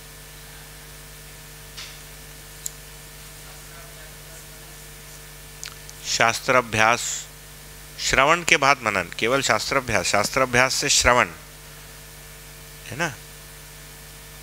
पठन शास्त्र अभ्यास से श्रवण। जी, बताइए। नहीं मैं उसमें थोड़ा मोड़ा जो रिफाइनमेंट है, उसको सोच रहा हूँ। ताकि जो बोलना है और जो लिखित है, वो दोनों ट्यून में रहे। इधर जम्बल्ड है और फिर मैं उसको एक अर्थ दे रहा हूँ ना। आप लेफ़्ट से राइट हम लेफ़्ट से राइट पढ़ते हैं। बाकी भाषाओं में, उर्दू में राइट से लेफ़्ट पढ़ेंगे। तो ये यदि पढ़ेंगे, इनके, इनमें ट्रेनिंग है या शास्त्र अभ्यास से पठन पड़ेगा। आप लोग है पठन से शास्त्र अभ्यास पढ़ेंगे। फिर लगेगा शास्त्र अभ्यास का लास्ट आउटकम पठन है। बराबर? हम्म? है ना? तो हम मान लेंगे लेफ़्ट टू राइट है सीक्वेंस तो उसके हिसाब से मैं वो कर रहा हूँ। जी, बताइए।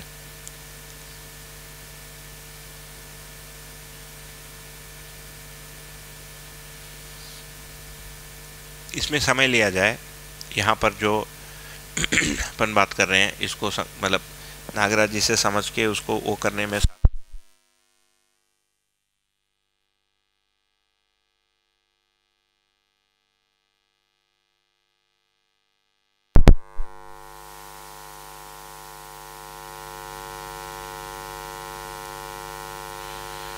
आप लोगों के फ़ोन में है?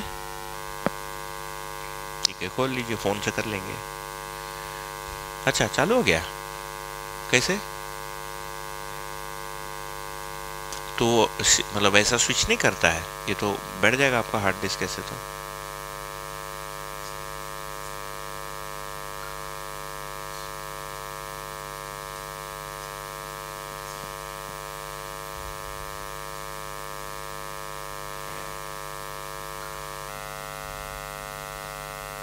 तो वो भी यूपीएस से लगाए क्या? नहीं।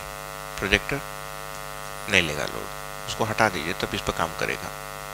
बहुत कांट होगा उसके लिए हाईवे सिक्स हंड्रेड वी का है ना? नहीं होगा।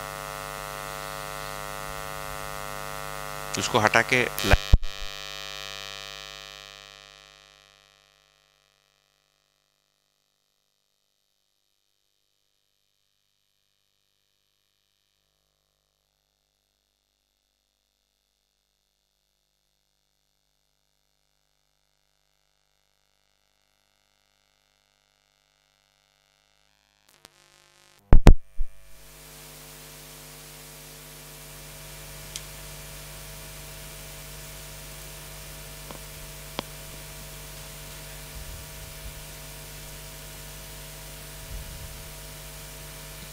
बट वो भी सो गया ना प्रोजेक्टर अच्छा कर दिया, वहाँ से रिमोट से।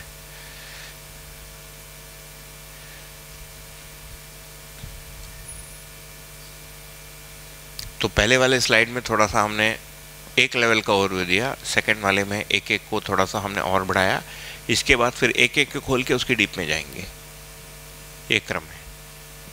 ठीक है फिर सभी को समेट के बात करेंगे।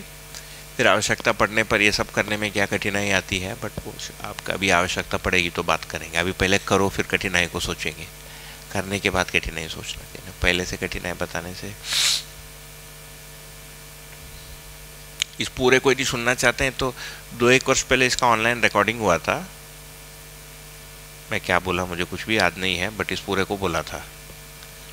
तो शायद उसमें सारी बातें आई होंगी।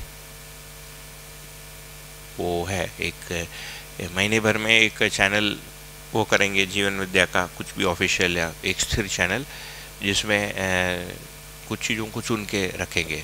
अभी सबका अलग अलग है ना? तो फिर एक जगह होगा जहाँ पर प्रत्येक जो भी शिविर लेने वालों का एक शिविर होगा। प्रत्येक का एक एक ही। इनका एक इनका एक इनका एक इनका एक ऐसा। वही अध्ययन शिविर का भी एक एक ताकि एक पूरी वो मिले हमको।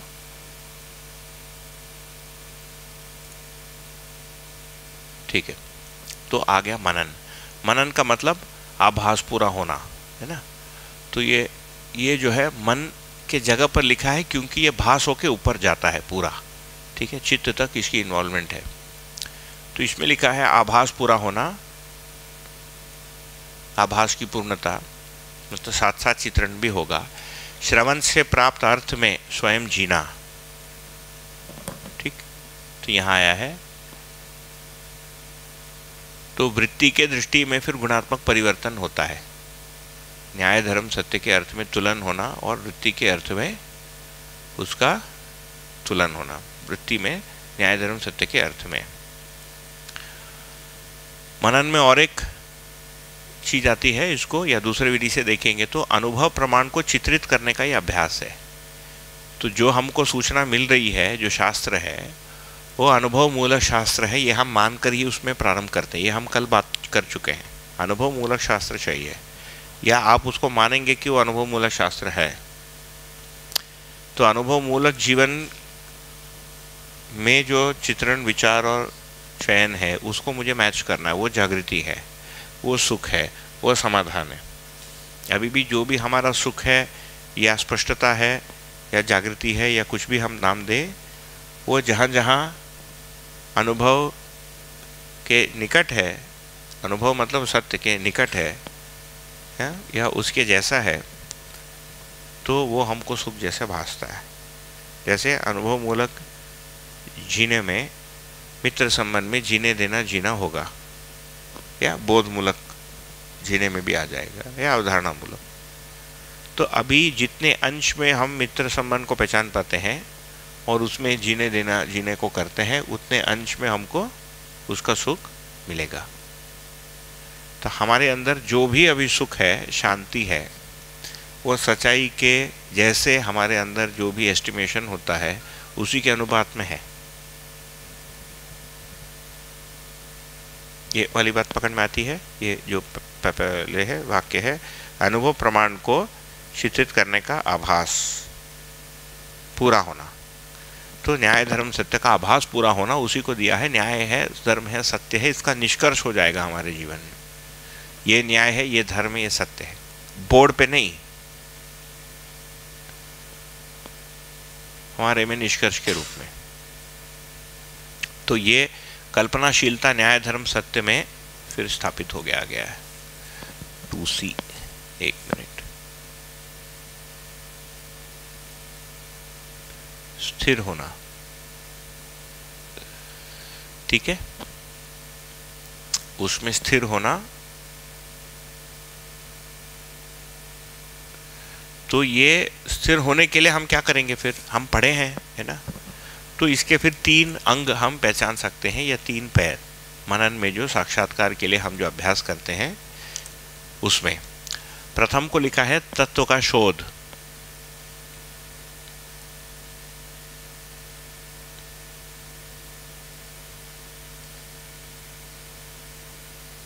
तात्विक रूप में वस्तु क्या है, इसका शोध करना, ये पहला है अभ्यास। शास्त्र अभ्यास से जो पूरा मिला, उसमें तात्विक रूप में वस्तु क्या है, इसको हम, उसके हम शोध में जाते हैं। ये जो पूरा एक मिला, इसमें से तत्व क्या है, तर्क क्या है, शास्त्र क्या है, ये अलग अलग हो जाएगा। जो तत्व वाला भाग है, वो कॉन्सेंट्रेट होकर साक्षात्कार के लिए जाएगा। ठीक? और जो जीने वाला भाग है, वो जीने में हम अभ्यास में लाएँगे। उसी को लिखा है इधर, व्यवहार अभ्यास, कर्म अभ्यास तथा व्यवस्था में भागीदारी। हम्म। फिर एक तीसरी चीज़ करनी पड़ेगी, वो स्व मूल्यांकन तो क्या मूल्यांकन होगा? जो हम तत्व को समझ रहे हैं वो सही है कि नहीं, और जो हम जी रहे हैं वो सही है कि नहीं? ये साथ में चलेगा। देखो दिखने के लिए सब अलग अलग है। ऐसा नहीं है कि पहले हम आपके साथ व्यवहार करेंगे, फिर तीन दिन बाद में स्व मूल्यांकन करूँगा। ऐसा नहीं है। कई बार एक साथ भी होगा ये। कई बार पोस्टमार्टम होगा। झगड़ा हो गया, बाद में बैठ के पोस्टमार्टम करेंगे कि मैं भी मर गया, वो उसको भी मार दिया, मैंने क्या हुआ? तो स्व मूल्यांकन होगा। या मैंने कुछ बोल दिया, उस आदमी को टपका दिया, कुछ हो गया तो फिर मैं मूल्यांकन करूँगा, मेरे अंदर क्या हो गया दिक्कत?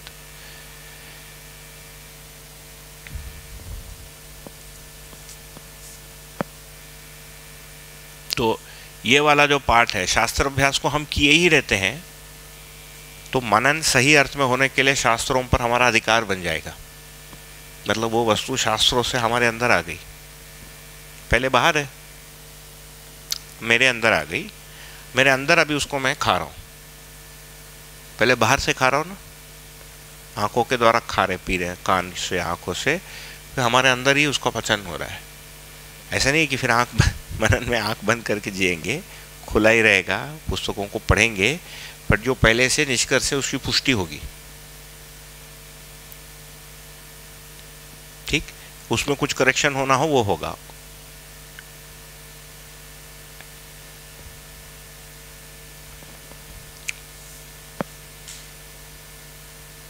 ये तीन अंग हैं, मनन में अभ्यास के।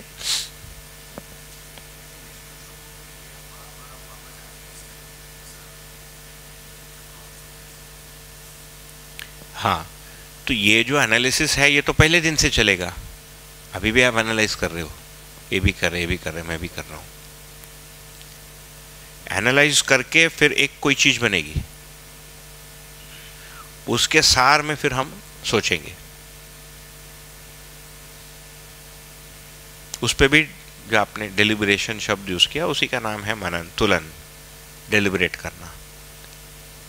बट वो जो तुलन है, या डेलिब्रेशन है डेलिब्रेशन का मतलब तुलन। उसको उन्होंने इंग्लिश भाषा दिया तुलन पूर्वक विश्लेषण। जैसे अभी डेलिब्रेट करते शादी करूँ कि नहीं करूँ, इससे करूँ कि उससे करूँ, है ना? दो हज़ार का कोट पहनूँ कि दस हज़ार का कोट पहनूँ? मैं दो हज़ार का पहनूँगा तो वो लोग क्या सोचेंगे? ये क्या बोलेगा? ये सब डिलिब्रेशन ही है। ट्रैफ़िक होता है ना अंदर। कचर पचर कचर पचर यही तो है। कचर पचर होता है। वो कचर पचर जो है, किसी सार्थकता में जाके क्लियर हो जाएगा।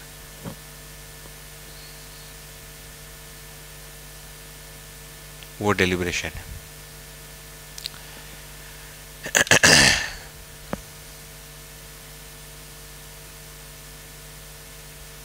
ठीक है, ये मनन में क्या करना है, ये थोड़ा सा मैंने ग्रहण हो पाता है। नहीं। अभी सुनेंगे हम, फिर करेंगे करेंगे करेंगे, फिर एक दिन हम मनन करेंगे तो हम पहचानेंगे कि हाँ मैं मनन कर रहा हूँ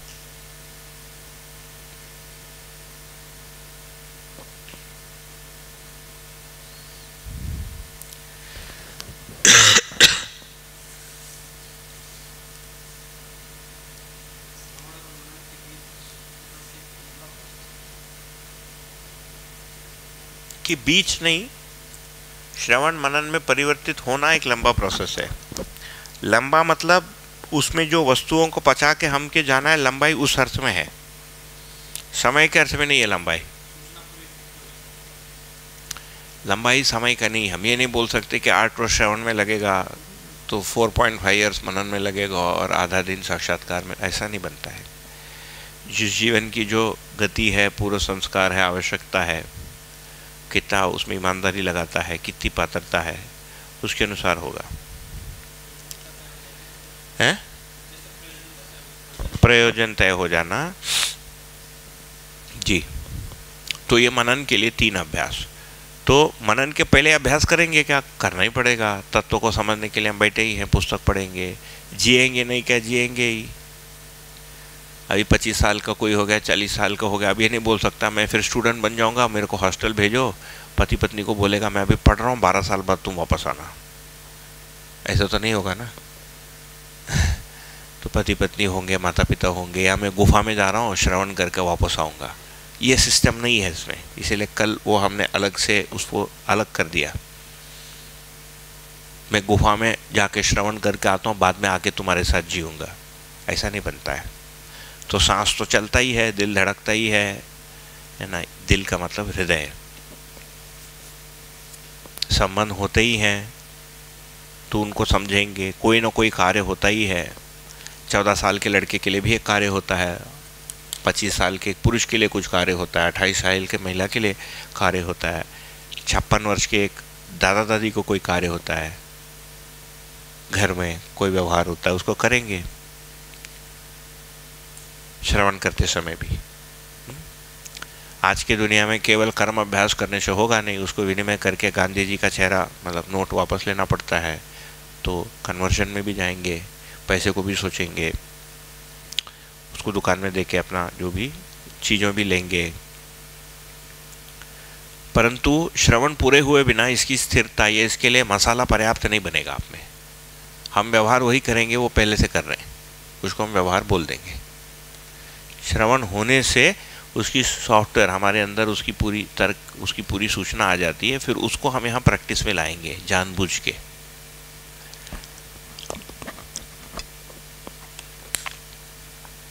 ठीक है ना?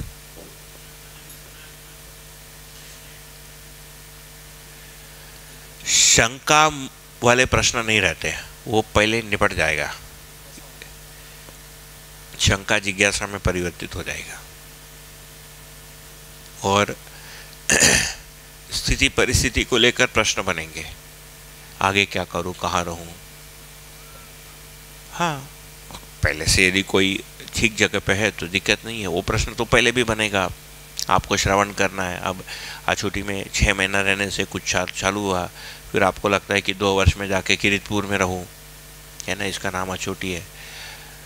एक किरितपुर गाँव है, उधर एक संस्था है। तो उधर रहूँ, कितने वर्ष रहूँ? फिर पैसा कहाँ से मिलेगा? मैं शादी करूँगा तो जिसे शादी करूँगा वो आएगी कि नहीं आएगा मेरे साथ? क्यों बोलेगा, मुझे दुकान में शॉपिंग करना है। प्रश्न कई बनते ही जाएँगे। बट वो तो दर्शन में नहीं आने से भी बनेंगे ही। बिना प्रश्न का तो ज़िंदगी होता नहीं। पहले कभी हुआ रहेगा, अब तो नहीं होता है। नहीं।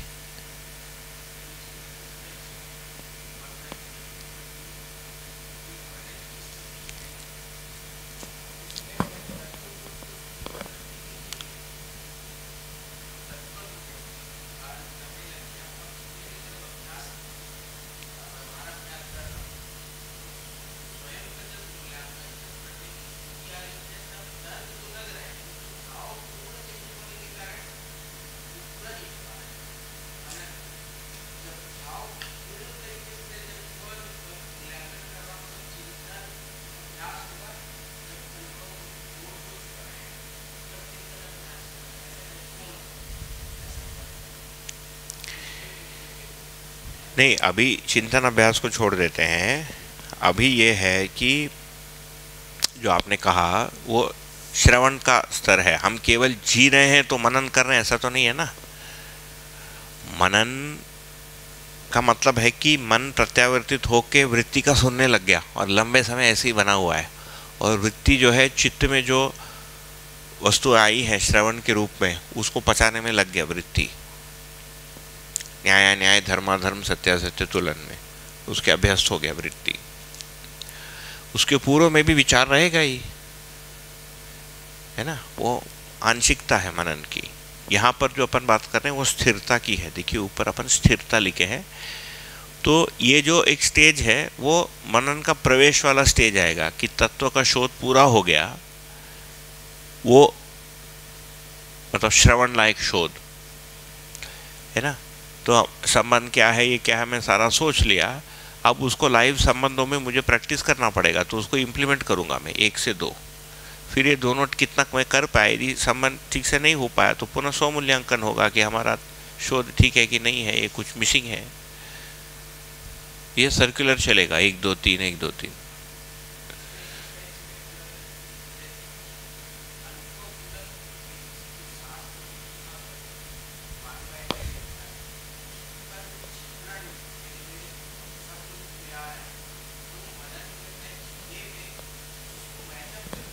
मैच करूँ।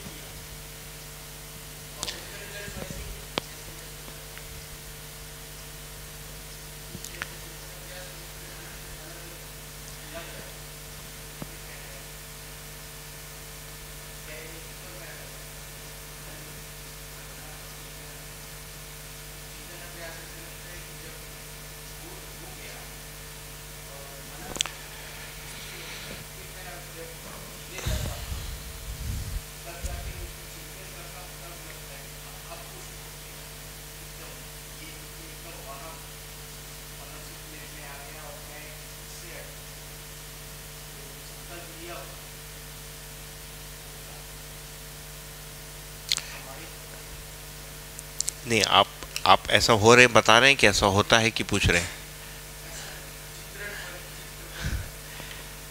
इसमें चिंतन अभ्यास शब्द को मैंने नोट कर दिया उसको हटाने के लिए। वो दूसरे पद्धति से लिखा था, बट उसको छोड़ देते हैं। चिंतन अभ्यास को साइड कर दीजिए अभी, है ना? ये ऊपर जो लिखा है, इसको पकड़ के चलते हैं। साक्षात्कार के लिए अभ्यास। तो साक्षात्कार करने के लिए साक्षात्कार की वस्तु का शोध होना, जीने की वस्तु का शोध होना, उसको जीना। तो जीने की जगह जब जाएँगे, पहले से हमारे अंदर कोई व्यवहार, कोई कर्म, कोई व्यवस्था का कोई कल्पना, कोई वृत्ति, प्रवृत्ति अलग बनी रहेगी। इसमें लिखा है ममता, स्नेह, और हमारे अंदर दिखेगा हमको कठोरता और द्वेष। ठीक? तो ये स्वमूल्यांकन में आएगा। ये जो स्वमूल्यांकन में आएगा, इसका मतलब है कि उससे संबंधित वस्तु या जीवन रूपी वस्तु या किसी वस्तु को मैं नहीं स्वीकार पाया हूँ। ये मुझे स्पष्ट नहीं हुआ है। तो पुनः उसको शोध करूँगा। अब वो शोध केवल भाषा के रूप में नहीं है, क्योंकि जो तर्क के रूप में शोध है वो तो हो चुका है। श्रवण हो गया का मतलब आप मध्य दर्शन को पढ़ा रहे हैं।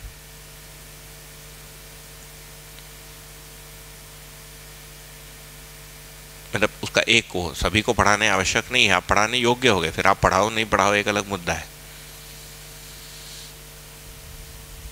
उसके पहले भी पढ़ा सकते हैं पूरा नहीं। रहेगा पूरा नहीं पड़ेगा। हैं? ये माइक माइक यूज़ कर लीजिए साउंड फिर सबका नहीं आ पा रहा है। माइक पकड़ लीजिए जी। सूत्रों में अंतर संबंध लिखा है जो उसको थोड़ा सा स्पष्ट कर दीजिए। सूत्रों में अंतर संबंध अलग अलग सूत्र है ना। जैसे धर्म धर्म को लिखा है अखंड समाज सार्वभौम व्यवस्था। फिर हम पढ़ते हैं कि संबंध। संबंध के लिए लिखा है, प्रयोजनों के अर्थ में संबंध समझ में आते हैं। ये दो सूत्र हो गए, ठीक? अब ये सूत्र और धर्म नामक जो सूत्र है, अखंड समाज, सार्वभौम व्यवस्था, इनमें अंतर संबंध क्या हम सोचेंगे? तो जो संबंध है, वो किसी प्रयोजन में, के अर्थ में है और प्रयोजन कैसे समझ में आएगा, वो व्यवस्था को समझने से आएगा। इसलिए ये और धर्म दोनों जुड़ा हुआ है। तो इन दोनों को हम जोड़ेंगे। जोड़ेंगे या दर्शन जैसे लिखा गया है, वो आपको ऐसे जोड़ बनाने के लिए बाध्य करेगा। इसको हम और करेंगे, ठीक से उसको खोलेंगे और शास्त्र अध्ययन पर ही दो चार पेज है, उसको करेंगे आराम से। ठीक है? बट ये एक एग्ज़ाम्पल हो गया। वैसे ही धर्म और सत्य रूपी वस्तुओं में अंतर संबंध क्या है?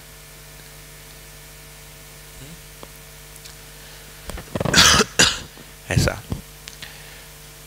फिर यहाँ पर हम उसको वस्तु रूप में पहचानने का प्रयत्न करेंगे। यहाँ शब्द के आधार और तर्क पे आधार पर करेंगे, यहाँ तर्क एवं और भाव के आधार पर करेंगे।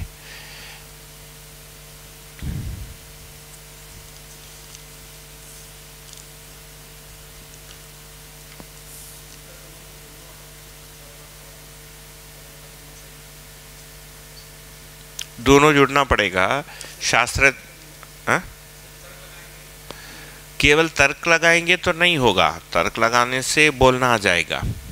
वो भी उपकारी है। पहले वो भी नहीं था तो कम से कम हमारी उसकी मान्यता बन गई। उसको हम बोलते हैं, हम उसको प्रोफेस करना शुरू कर देते हम उसके प्रोफेसर बन जाते हैं। एक आदमी प्रोफेसर होता है मतलब क्या होता है, वो जब मानता है, उसको बोलता है, वो प्रोफेसर है। शिक्षक भी ऐसे ही करते हैं।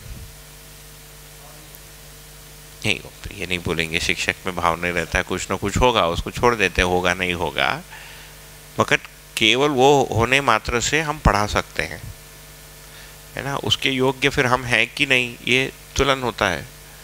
यदि नहीं है तो उस वस्तु को समझने के लिए हमारी प्राथमिकता बनेगी, उसका पुनः शोध करेंगे कि उसका तात्पर्य क्या है, या उसका और जो सूक्ष्म रूप है, उसको क्या है। तो श्रवण में चीज़ें बहुत बड़ी हैं, वो मनन में आते आते सिकुड़ जाएँगी। ठीक है ना? और मनन में ये तीन चीज़ें हम करेंगे। तो कल्पनाशीलता, न्याय, धर्म, सत्य में स्थिर होता है तो तीव्र इच्छा का प्रकाशन होता है। तीव्र इच्छा का मतलब इसके बिना जी नहीं सकता हूँ। ये हमारे अंदर बन जाएगा। वो पहले से भी बनेगा, और तू तू तू, अभी तो आदमी तुम्हारे बिना जी नहीं सकता हूँ, बोल के मर भी जाता है, ट्रेन के सामने आ जाता है। वो वाला नहीं है। है ना? वो आवेश है। बराबर ना करते हैं ना, बहुत सारा ड्रामाबाजी होता है दुनिया में। पिक्चर में भी दिखाते हैं, आदमी रियल लाइफ में भी ड्रामाबाजी करता है। वही, मन के स्तर का आवेश है वो, उसको भाव मानता है। अभी जिसको हम लव बोलते हैं, वो मन के स्तर का आवेश है।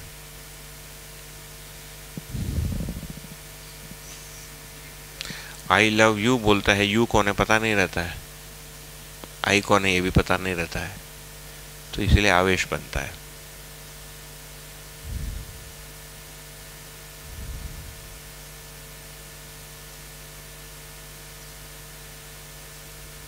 ठीक है? तो ये श्रवण का एक क्वेश्चन था, जैसे कि सिंपल में जैसे दरवाज़ा बोल रहे हैं तो मन में कल्पना बनता है कि दरवाज़ा, प्लास्टिक का दरवाज़ा, लोहे का दरवाज़ा, लकड़ी का दरवाज़ा वाइट कलर का दरवाज़ा ये सब जो आ रहे हैं तो इसको बोलेंगे कि ये श्रवण हो रहा है। जैसे कोई आप बोल रहे हैं और मेरे में एक चित्र बनते जा रहा है तो ये श्रवण। तो जैसे आगे घर के लोग श्रवण पूर्वक बोल रहे हैं तो जो आगे आने वाली पीढ़ी है उसका डायरेक्ट श्रवण हो जाएगा। हाँ। उसमें जैसे जो भी बोल रहे हैं जो मतलब जड़ वस्तु है उसका तो डायरेक्ट चित्रित हो जाएगा बस वो वो सबको बचा रहेगा विश्वास सम्मान। फिर उसको और उसको तर्कपूर्वक कैसे बोलेंगे? नहीं अभी आप समझने के लिए पूछ रहे हो कि अपने बच्चे होने वाले अभी शादी नहीं हुई है ना? नहीं अभी जो बात कर रहे हैं श्रवण जैसे कैमरा बोलते हैं तो कल्पना बोलता है कैमरे का। तो यहाँ पे श्रवण ठीक हुआ। अब उसको तर्कपूर्वक बोल रहे हैं उसको कैसे क्लियर करेंगे? नहीं नहीं तर्क वो ठीक वो भाषा को ठीक कर। आगे और श्रवण की डिटेल में जाएँगे तो जाएँगे। जैसे ये एक दरवाज़ा है। अभी दरवाजे में कई सारे कंपोनेंट है। बीच का एक प्लाईवुड है ऊपर का सनमाइका है उसमें एक नट है एक एक बोल्ट है ठीक? हम्म। तो हम दरवाजे में पाँच पार्ट है। तो उस दरवाजे को जब बताने जाएँगे तो पाँचों चीज़ों को बताना पड़ेगा। फिर ये पाँच चीज़ें साथ में कैसे आई उसके अंदर संबंधों को बताना पड़ेगा। ठीक है ना? तो जो दरवाज़ा है, दरवाज़ा क्या है, वो उससे रूम बंद होता है और जब चाहिए अंदर बाहर हो सकते हैं। ये हो गया श्रवण का शुरुआत। उसके डिटेल में जाएँगे तो सारी चीज़ आएँगी। फिर वो यहाँ तक पहुँचा कैसे? तो हम बोलेंगे कि वो कोई आदमी लाया, फिर क्वेश्चन आएगा, वो क्यों आया? तो उससे रिलेटेड एक क्वेश्चन एक चीज़ का, उसके पहले का कारण। ऐसे प्रत्येक घटना या प्रत्येक क्रिया का कारण विधि। कारण विधि पहुँचते पहुँचते मूल कारण में पहुँचेंगे। वो आदमी पैदा क्यों हुआ? वहाँ पहुँचेंगे। जिसने ये दरवाज़ा लाया वो इधर क्यों आया? भाई उसको घर चलाना है वो घर क्यों चलाना है? क्योंकि सुखी होना चाहता है? फिर वो कहाँ से आया? फिर वो पैदा क्यों आया फिर मैं क्यों पैदा आया? यहाँ आके रुक जाएगा। तो वहाँ तक पूरा श्रवण करना पड़ेगा सारे तर्कों का। तो इसी को श्रवण पूरा होना बोलेंगे। ये जब तर्क सब तरह मतलब जो होलोग्राम बोले थे वो पूरा हो जाए तो तब श्रवण पूरा होगा। भाषा सहित तर्क हाँ श्रवण की एक स्थिरता आ गई। इसके पहले अस्थिर रहता है मतलब अंडर प्रोसेस रहता है, बन रहा है, बिगड़ रहा है, बन रहा है, बिगड़ रहा है। ठीक है ना? उसकी कोई स्थिरता की जगह आएगी। जैसे कोई परिवार में छोटा सा बच्चा आता है तो जो भी बातचीत करते हैं हिंदी में, अंग्रेज़ी में तो उसका कल्पना में तो आ जाता है, पानी भरे तो पानी आ जा रहा है तो उसका तो श्रवण हो रहा है। वैसे ऐसी मध्य दर्शन में जो भी अर्थ दिए हैं, परिभाषा संहिता में, उसके हिसाब से अगर परिवार में बातचीत होंगे तो आगे वाली पीढ़ी में वो ऐसे ही श्रवण हो जाएगा। तर्क शेष रहेगा कि श्रवण मतलब अर्थ स्पष्ट हो जाएगा। सोपानों में इससे पहला सोपान। नहीं वो अपने आप होगा कोई गारंटी नहीं है। वो एक अलग चीज़ है जहाँ आप जा रहे हैं कि इसको फिर छोटे बच्चों के लिए शिक्षा की विधि क्या होगी? वो आपका क्वेरी है। हम्म। है ना? थोड़ा सा भी बात कर लेंगे वो अभी अपना सब्जेक्ट नहीं है डिस्कशन का। अभी हम लोगों के लिए ये हम कर रहे हैं। वही मैं पूछा आपका विवाह हो गया है कि नहीं? नहीं जैसे जिन लोग के घर में छोटे बच्चे हैं एक महीने दो महीने एक साल का तो उन्होंने तो अभी कोई भाषा नहीं सीखा है। तो अगर ये अर्थ के साथ स्मरण में रखते हुए अगर बातचीत करेंगे श्रवण पूर्वक उनके साथ जीने की वस्तुएँ जो हैं वहाँ से प्रारंभ करेंगे। भाषा से शुरू नहीं करते बच्चे के लिए। नहीं चर्चा कर रहे हैं तो उसको सुनते रहते हैं ना। सुनेगा तो शब्द भी आएगा और कुछ भाव भी दिखेगा। तो उदारता बोलने के पहले वो उदारता देखेगा माँ में। हर माँ को उदार तो होना ही पड़ता है, नहीं तो माँ बन नहीं सकती। है ना? हर पिता को संरक्षण करना ही पड़ता है, नहीं तो संरक्षण दे नहीं सकता। ठीक है? तो ममता ये सारी चीज़ों को वो अनुभव करेगा बचपन से, उनको स्वीकारेगा। आगे जाके उसके वस्तु रूप को स्थिर करने के लिए अध्ययन करेगा। तेरह चौदह पंद्रह वर्ष के आयु में तब तक कुछ भाषाओं को सीखा रहेगा। जब उसके अंदर वो जिज्ञासा बन जाएगी हम्म। तो वो इस वाले लाइन में आएगा जिस पर हम अभी बात कर रहे हैं। चौदह पंद्रह इक्कीस बाईस जो भी। ठीक है? हम्म। तो ये वाली चीज़ आएगी। तो तर्क जो है पहले से देने से कुछ होगा नहीं। सात साल के बच्चे को तर्क देने से क्या होगा? कुछ नहीं होगा। तेरह वर्ष के आयु में जाके तर्क शक्ति विकसित होती है बच्चों में। बारह तेरह के आसपास। तभी बच्चे सुनते नहीं। तो वह शिक्षा विधि पर जब हम बात करेंगे कि इसको शिक्षा हम नहीं करने वाले हैं जब भी आप किसी के साथ हो गए उसमें वो चीज़ें आएगी कि शिक्षा विधि में इसको जाने का स्वरूप क्या है। ठीक है?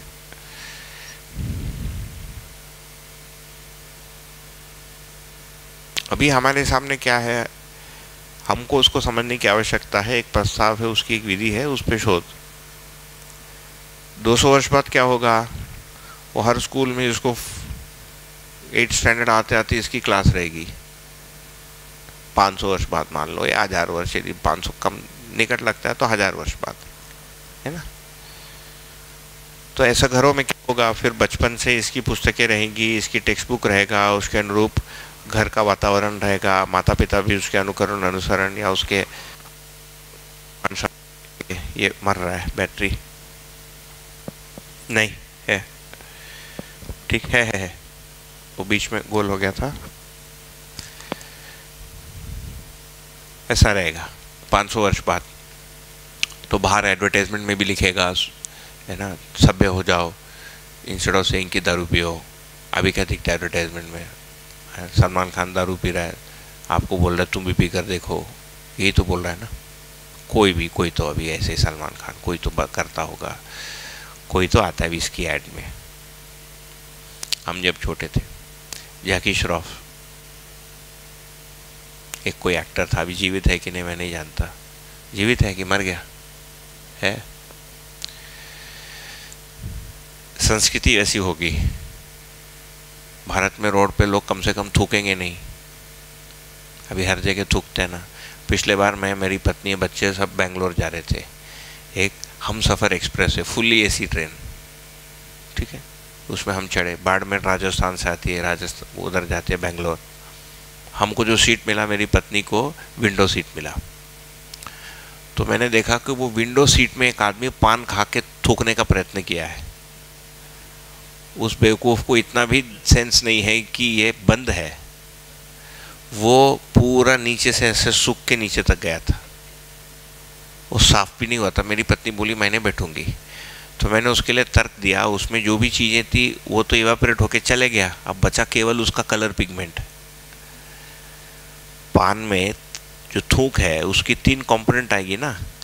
कलर का पिगमेंट उसका जो भी सामग्री है, उसका थूक उसमें जो लिक्विड है, थूक के दो भाग है लिक्विड और बैक्टीरिया बैक्टीरिया मर गया होगा क्योंकि पानी उड़ गया, बच गया पिगमेंट तो बैठे रहो। वो बोली, मैंने बैठूँगी, तुम बैठो। तो मैं बैठा उधर। फिर थोड़ी देर के बाद हम बाथरूम की तरफ़ गए। वो जो वेस्टिब्यूल होता है, दो कोच को, पूरा लाल वोकल वो थूकने का जगह नहीं मिला तो उधर ही थूका है। पूरा लाल भाई।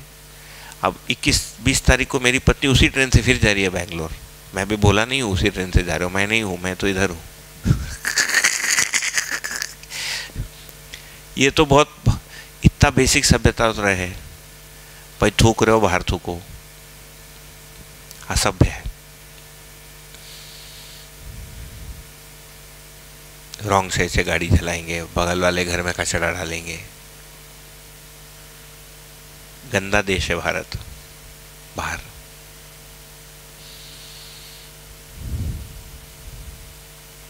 ठीक है?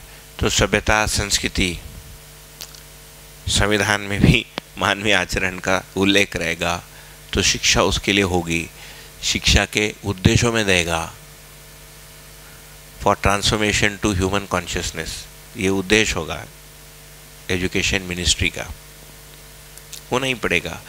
ये यदि सत्य है है ना? और जागृति क्रम सत्य है, और जागृति सत्य है तो वो होकर ही रहेगा। चाहे आज हो, कल हो 500 साल बाद हो। ठीक? तो उसमें यदि शिक्षा देखेंगे तो बच्चे के घर, परिवार से लेकर, समाज से लेकर, शिक्षण संस्था में सामरस्यता रहेगी, शिक्षा के उद्देश्यों को लेकर। तो व्यवहार रूप में भी कुछ देखेगा, कार्य रूप में देखेगा, व्यवस्था के रूप में देखेगा, मानसिकता के रूप में देखेगा। बचपन से उसके साथ फिर शब्द आएँगे, फिर तर्क बनेंगे, फिर वो अध्ययन करेगा। बट उसमें भी अध्ययन करने के लिए ये इच्छा होनी पड़ेगी। उसमें भी इच्छा नहीं होता तो नहीं करेगा।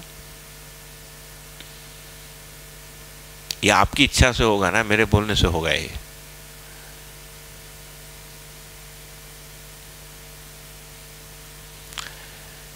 मैं आपको बोलूँ, जल्दी शोध करो, स्वर्ग मिलेगा, जन्नत मिलेगी से होगा क्या? नहीं होगा, वो तो वो है, आवेश ही बनेगा आपको। इच्छा नहीं है तो ठीक है, कोई दिक्कत नहीं।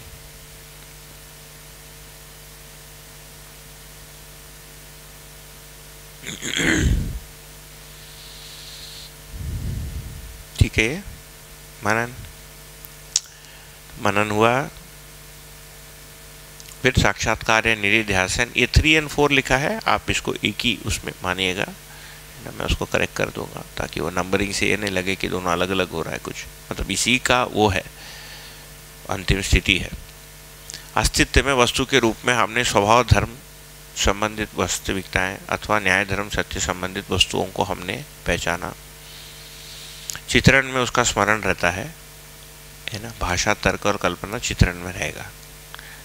तो सम और सम और विषम मात्मक जो भी कल्पनाएँ है वो यहाँ रहती है। सम मध्यस्थ जो है वो साक्षात्कार के लिए जाएगा। जैसे ही साक्षात्कार होता है तक्षण बुद्धि में वो स्वीकृत हो जाता है। और बुद्धि में जो स्वीकृत हो जाता है, वही आगे जाके अवधारणा कहलाता है। या अवधारणा क्षेत्र में वो जमा होते जाएगा। होते होते जितना साक्षात्कार होना है, बुद्धि के तृप्त होने के लिए, उतना होगा। उसके अनुरूप चित्रण, विचार और जीना होगा। वो जो स्थिरता का बिंदु है, उसका नाम है अवधारणा।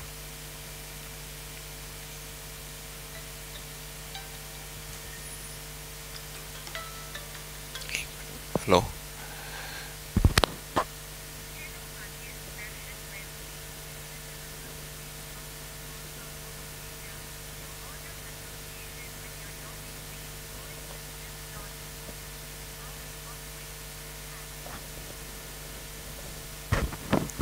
ठीक ऑटोमेटेड मैसेज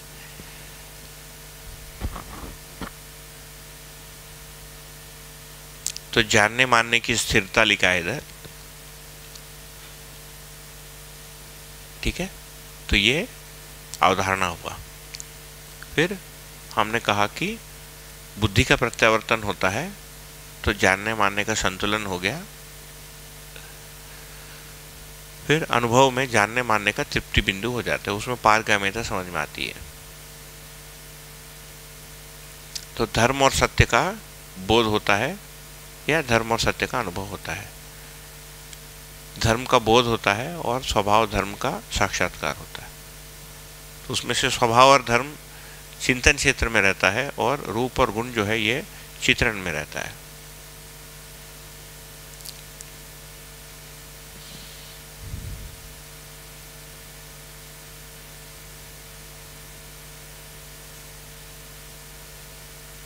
तो ये पुनः एक एक प्रकार से एक ओवरव्यू कहिए।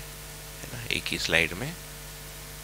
और छोटा कर देता हूँ तो आपको पूरी चीज़ एक साथ दिखेगी।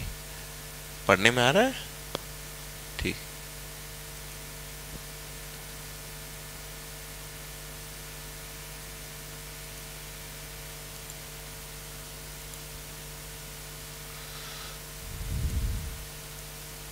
ठीक है, पहले श्रवण मनन। पहले किसके बाद क्या है, ये पहले सेट हो जाए। उसके बाद एक एक डिटेल में जा सकते हैं। उसको करें, उसके बाद उसमें डिफ़िकल्टी क्या आती है, वो कभी हम, कभी फ्यूचर में कभी मिलेंगे और कभी अवसर बना तो बात करेंगे। उस पर फिर कन्फ्यूज़न क्या होता है, फिर हम कहाँ पर हैं, कैसे पता चलेगा, चाहे तो अभी भी बात कर सकते हैं। आवश्यकता के अनुसार करेंगे। बट कुल मिलाकर जो बेसिक एक चीज़ हमको मैंने स्पष्ट होना है, उतने भर को रखा है सर। तो ये वाला पक्ष तक सबको ठीक लगे तो आगे हम बढ़ सकते हैं। इसमें और कुछ बात करनी है तो और कुछ बात करेंगे। ये एक बार में होता नहीं। एक बार सुना, कुछ सोचा, फिर उसमें कुछ आगे की कोई चीज़ खुलती है, फिर कुछ सोचेंगे, फिर आगे की चीज़ खुलती है, ऐसा चलता ही है।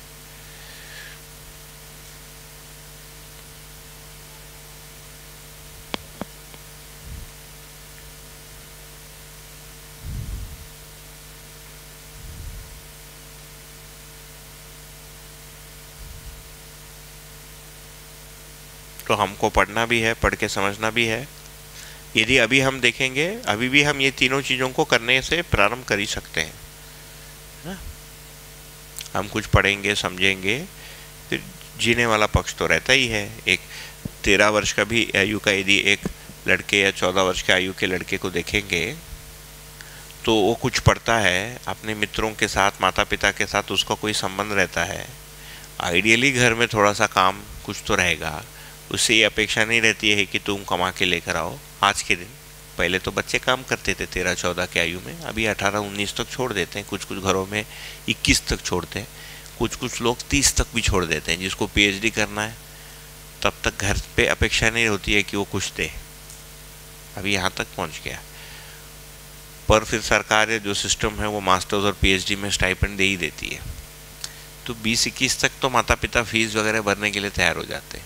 ये अपेक्षा नहीं रहती है कि अभी जो भारत में एक प्रकार से लोअर मिडिल क्लास ऑनवर्ड जो पूरा क्रम फिर कुछ घरों में ये 10-12 साल वर्ष ही वो आर्थिक स्थिति, आवश्यकता के अनुसार होता है कि काम करना पड़ता है। सौ वर्ष पहले सभी लोग करते थे 200-300 वर्ष पहले। तेरह साल की लड़की है तो ये नहीं बोल सकती, मैं बैठ के बुक पढ़ रही हूँ, नहीं, वो पानी भी लाएगी, है ना? लड़का है तो लकड़ी भी लाएगा, उसको काटेगा, हैं? जंगली सुअर आ गया, उसको भगाएगा। सब करना पड़ेगा। अपने आप ही होता है। अलग से कोई, बेटा, तुम कर्म अभ्यास से शुरू करो, ऐसा कुछ भी नहीं है ना। अपने आप ही घर में घूमते घामते सब कर लेगा। पानी भी लाना पड़ेगा, घर के काम में सबको दौड़ना पड़ता है। तो पहले जब ऑटोमेशन नहीं था और बहुत सारी चीज़ें पिछड़ी थी तो ये कार्य वाला क्षेत्र सर्वाधिक था मनुष्य के जीने का। व्यवहार गौण था। और शास्त्र शोध नहीं के बराबर था, किसी को फुर्सत ही नहीं थी पढ़ने की, ना आवश्यकता महसूस होती थी। हर बच्चा स्कूल जाएगा, ये रिसेंट डेवलपमेंट है। नहीं, कहाँ जाते थे? कोई नहीं जाता था, सब काम पे लगते थे, तब तक खेलते रहते थे बच्चे। थोड़ा अक्षर ज्ञान हो गया, लिखना पढ़ना हो गया हो गया, ख़त्म। कोई डिग्री पिग्री कुछ नहीं, कोई था ही नहीं कॉलेज कुछ कोई था ही नहीं डिग्री आपको देने को।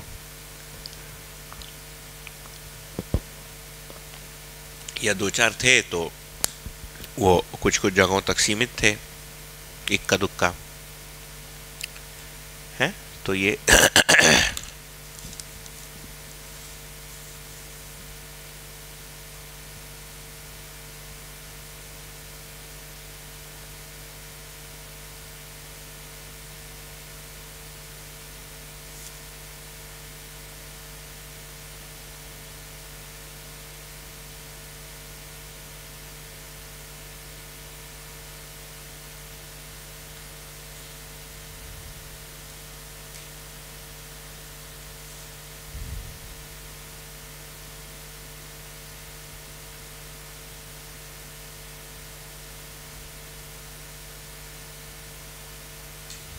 हाँ जी। ठीक है यहाँ तक? तो साक्षात्कार बोध और अनुभव। तो इसमें यदि आप नागराज जी के साथ मैंने जो अभी जो संवाद पब्लिकली अवेलेबल है यदि सुनना चाहते हैं तो आ, दर्शन की लाइब्रेरी में जाइए। आप पता होगा है ना? मध्य दर्शन टाइप कीजिए लाइब्रेरी एक आता है एक। क्लाउड लाइब्रेरी एक है उसमें जाइए थोड़ा सा साइट में कुछ काम है, देखते हैं। उसको और बढ़िया बनाने का प्रयत्न करेंगे। ये शॉर्टकट है, एक बार मैं दे चुका हूँ आप लोगों को सीधा जाने के लिए। उसमें ऑडियो को डाउनलोड कीजिए, उसमें अध्ययन विधि संबंधित ऑडियो है, उसको आप सुन सकते हैं। यदि इच्छा हो तो।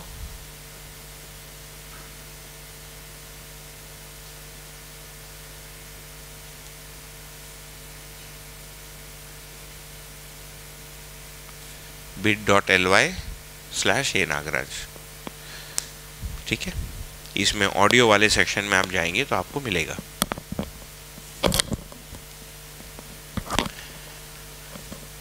तो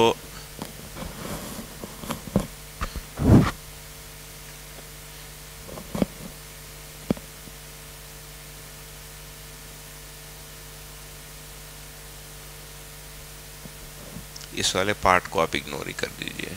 इसको भी रिफाइन करना पड़ेगा। पेज नंबर सेवन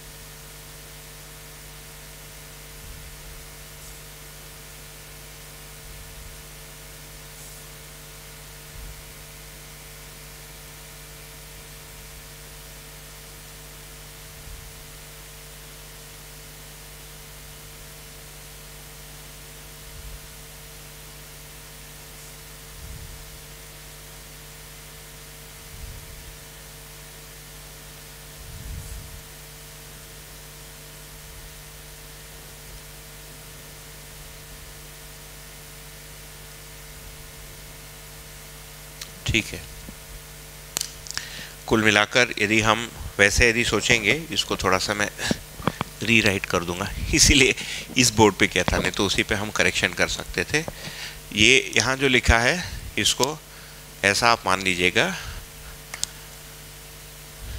जो प्रथम जो स्टेज है, ये भाषा और तर्क के साथ रहता है।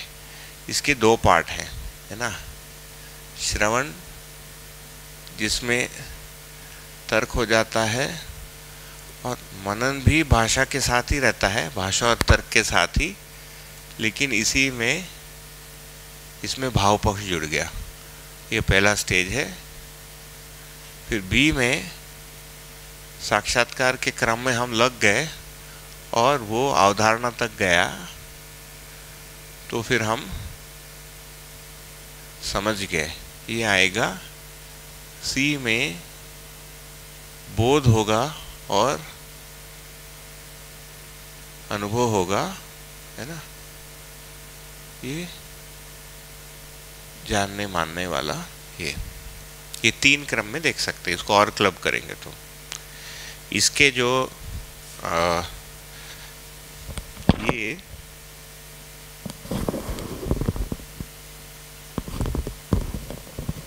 से सोच रहा था कि उसमें कुछ तो प्रॉब्लम है, मुझे समझ में नहीं आ रहा था। यार, ये कैसा है? आई डोंट नो हाउ बस, इसको आदमी आठ आठ घंटा पता नहीं कैसा पहनता है। नहीं नहीं, हो गया। है? पीछे से, वही तो किया। नहीं, ये पीछे में लगा देता हूँ, एक काम करता हूँ, पीछे ना इसको ऐसे अभ्यास नहीं है ना, जिसको प्रोफेशन है, वो करता ही है। आजकल छोटा वो आता है, इधर एक लगा लेते और भी महँगे वाले शायद कुछ करते केवल कान में रहता है वो। वो सब महँगा होगा। कान में एक छोटा सा देखते हैं टेट टॉक वगैरह में कभी देखा है मैंने। ठीक है ना? तो ये एक स्टेज है।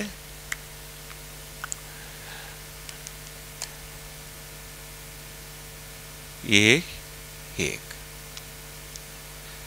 तो श्रवण तथा श्रवण की स्थिरता, है ना, और जीने में अभ्यास, ये एक। फिर समझने वाला क्रम, और वही आगे बोध अनुभव में जानने वाला क्रम।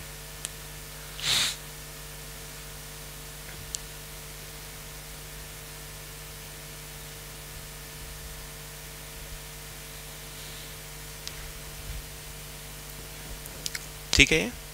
तो वो जो वहाँ डायग्राम लिखा है, उसको ऐसा अपन मान लेंगे। यहाँ जो लिखा है, वो नोट्स पे मैं अपडेट करूँगा बाद में कभी।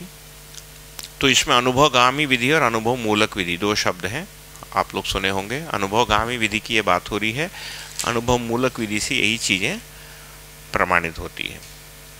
तो ये सबको हम कैसे जांचेंगे, है ना? श्रवण में भी और आगे मनन में भी। एक तो जो वस्तु है, वो सार्वभौम है कि नहीं? शुरुआत से अंत तक, सार्वभौम है कि नहीं? तो तर्क रूप में, है ना? अस्तित्व सहज वस्तु के रूप में सार्वभौम है कि नहीं? है ना? इंट्यूटिवली का मतलब मैंने हमको ऐसा आभास होता है, फिर सार्वकालिक है कि नहीं? समझने योग्य है कि नहीं? है ना? तर्क संगत है कि नहीं? जीने में आता है कि नहीं? ये सारी चीज़ें उसमें रहेंगी।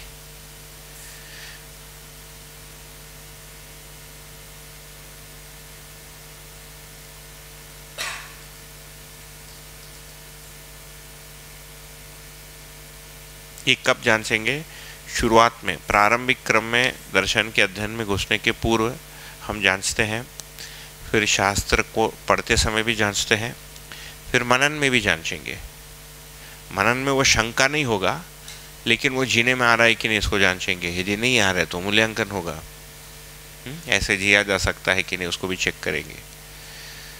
फिर जीने का मतलब क्या है इसको भी सोचना पड़ेगा मनन में। वो सारी चीज़ें जो है डिटेल उसमें खुलेगी यदि मेहनत की दृष्टि से देखेंगे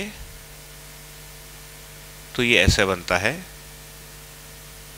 श्रवण और मनन साक्षात्कार के गेट तक यदि एक इंच का स्केल माने तो साढ़े ग्यारह इंच साक्षात्कार तक पहुँचने का है, पुरुषार्थ हाँ? एक फुट का तो साढ़े ग्यारह इंच जो है, साक्षात्कार तक है है ना साक्षात्कार से लेकर बोध तक वो आधा इंच में हो जाता है। आधा इंच में मान लो पॉइंट वन एम एम बचा हुआ और जो बचा हुआ पॉइंट वन एम है वो अनुभव है। एफर्ट के रूप में। श्रवण और मनन में यदि स्केल को करना चाहते हैं, ये साढ़े ग्यारह इंच में लगभग चार इंच इधर है है ना? और बचा हुआ साढ़े सात इंच इधर है।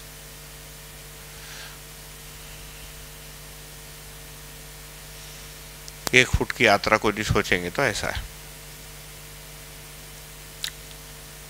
साढ़े ग्यारह इंच साक्षात्कार तक, उसमें से चार साढ़े चार इंच श्रवण, सात साढ़े सात इंच मनन।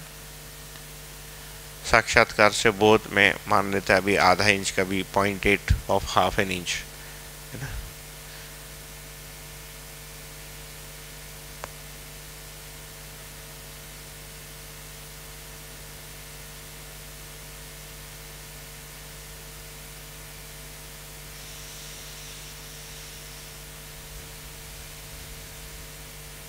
तो इसको हम चार सुख के रूप में देखें तो ये फिर यहाँ पर ऐसे रूप में समझ में आता है, जो भौतिक सुख है, वो भास होने के अर्थ में हमको होता है रस या संवेदना से, मुद्रा, वस्तु, ये सब इसमें आ जाता है। इसको हम पहले दिन में देखें, जो कल था, जो व्यवहारिक सुख है, वो स्थापित मूल्य के रूप में आता है, वो भास, आभास प्रतीति के क्रम में आएगा।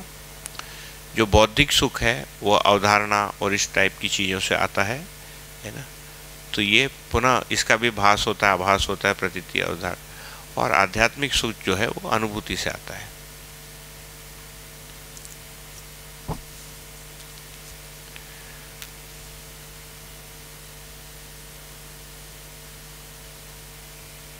इस पे कुछ। ये विधि ठीक है हमारा कि मैं बहुत ज़्यादा फास्ट बहुत ज़्यादा बोलूँ? कहीं नींद तो नहीं आ रही आप लोगों को ठीक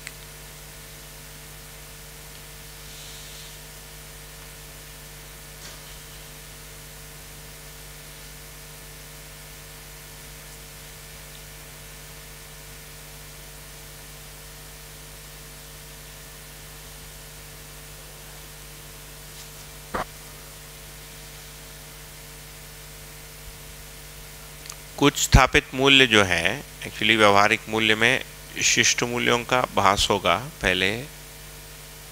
जैसे उदाहरण के रूप में आप इस टाइप की जगह आते हैं, किसी के घर जाते हैं तो लगता है आदमी बहुत उदार उदारता हमको दिखता है बाहर। हमारे में नहीं रहता है। उस आदमी की उदारता हमको दिखता है। और यदि हमारे में उदारता है तो उसका सुख मिलेगा। आंशिक रहेगा, इसीलिए उसको भास का है। हर समय नहीं रहेगी। तो जो भी हमको भाष या आभास होती है, उसमें प्रॉब्लम है कि सभी के साथ नहीं होगा और हर समय नहीं होगा। कंडीशनल हो जाता है। सार्वभौमिकता और सार्वकालिकता उसकी सिद्ध नहीं होती। जैसे ममता है, कि ज़ीरो ममता का एक आदमी होता है क्या? मुझे नहीं लगता। एकदम पत्थर होगा वो, होता होगा। फिर ऐसे लोगों को अंदर कर देते हैं जानवर बोल के। थोड़ा भी रहने से उसको मानते हैं। मतलब दिखता है वो। तो वैसे ही यहाँ पर भी स्थापित मूल्यों को देखेंगे, जैसे विश्वास हो गया, सम्मान हो गया, स्नेह हो गया, क्या ज़ीरो है क्या कि अनुभव के बाद ही सम्मान पता चलेगा, उसके बाद कुछ नहीं पता चलेगा, ऐसा नहीं है उसकी स्थिर बिंदु अवधारणा तक आ जाएगी, उसके पहले वो साक्षात्कार में आ जाएगा, उसके पहले उसका आभास होगा? हम्म?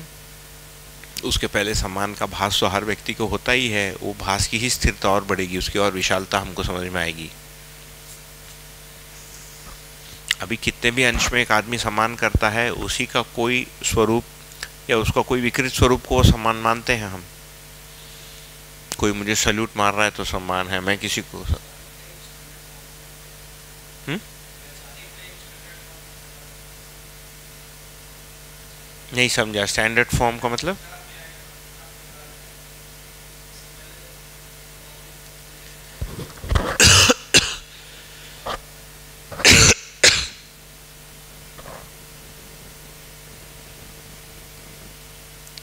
नहीं, जो भी चीज़ें हैं, वो तो सही है। विचार में आएगा, वो विचार में आने का ही क्रम श्रवण है ना।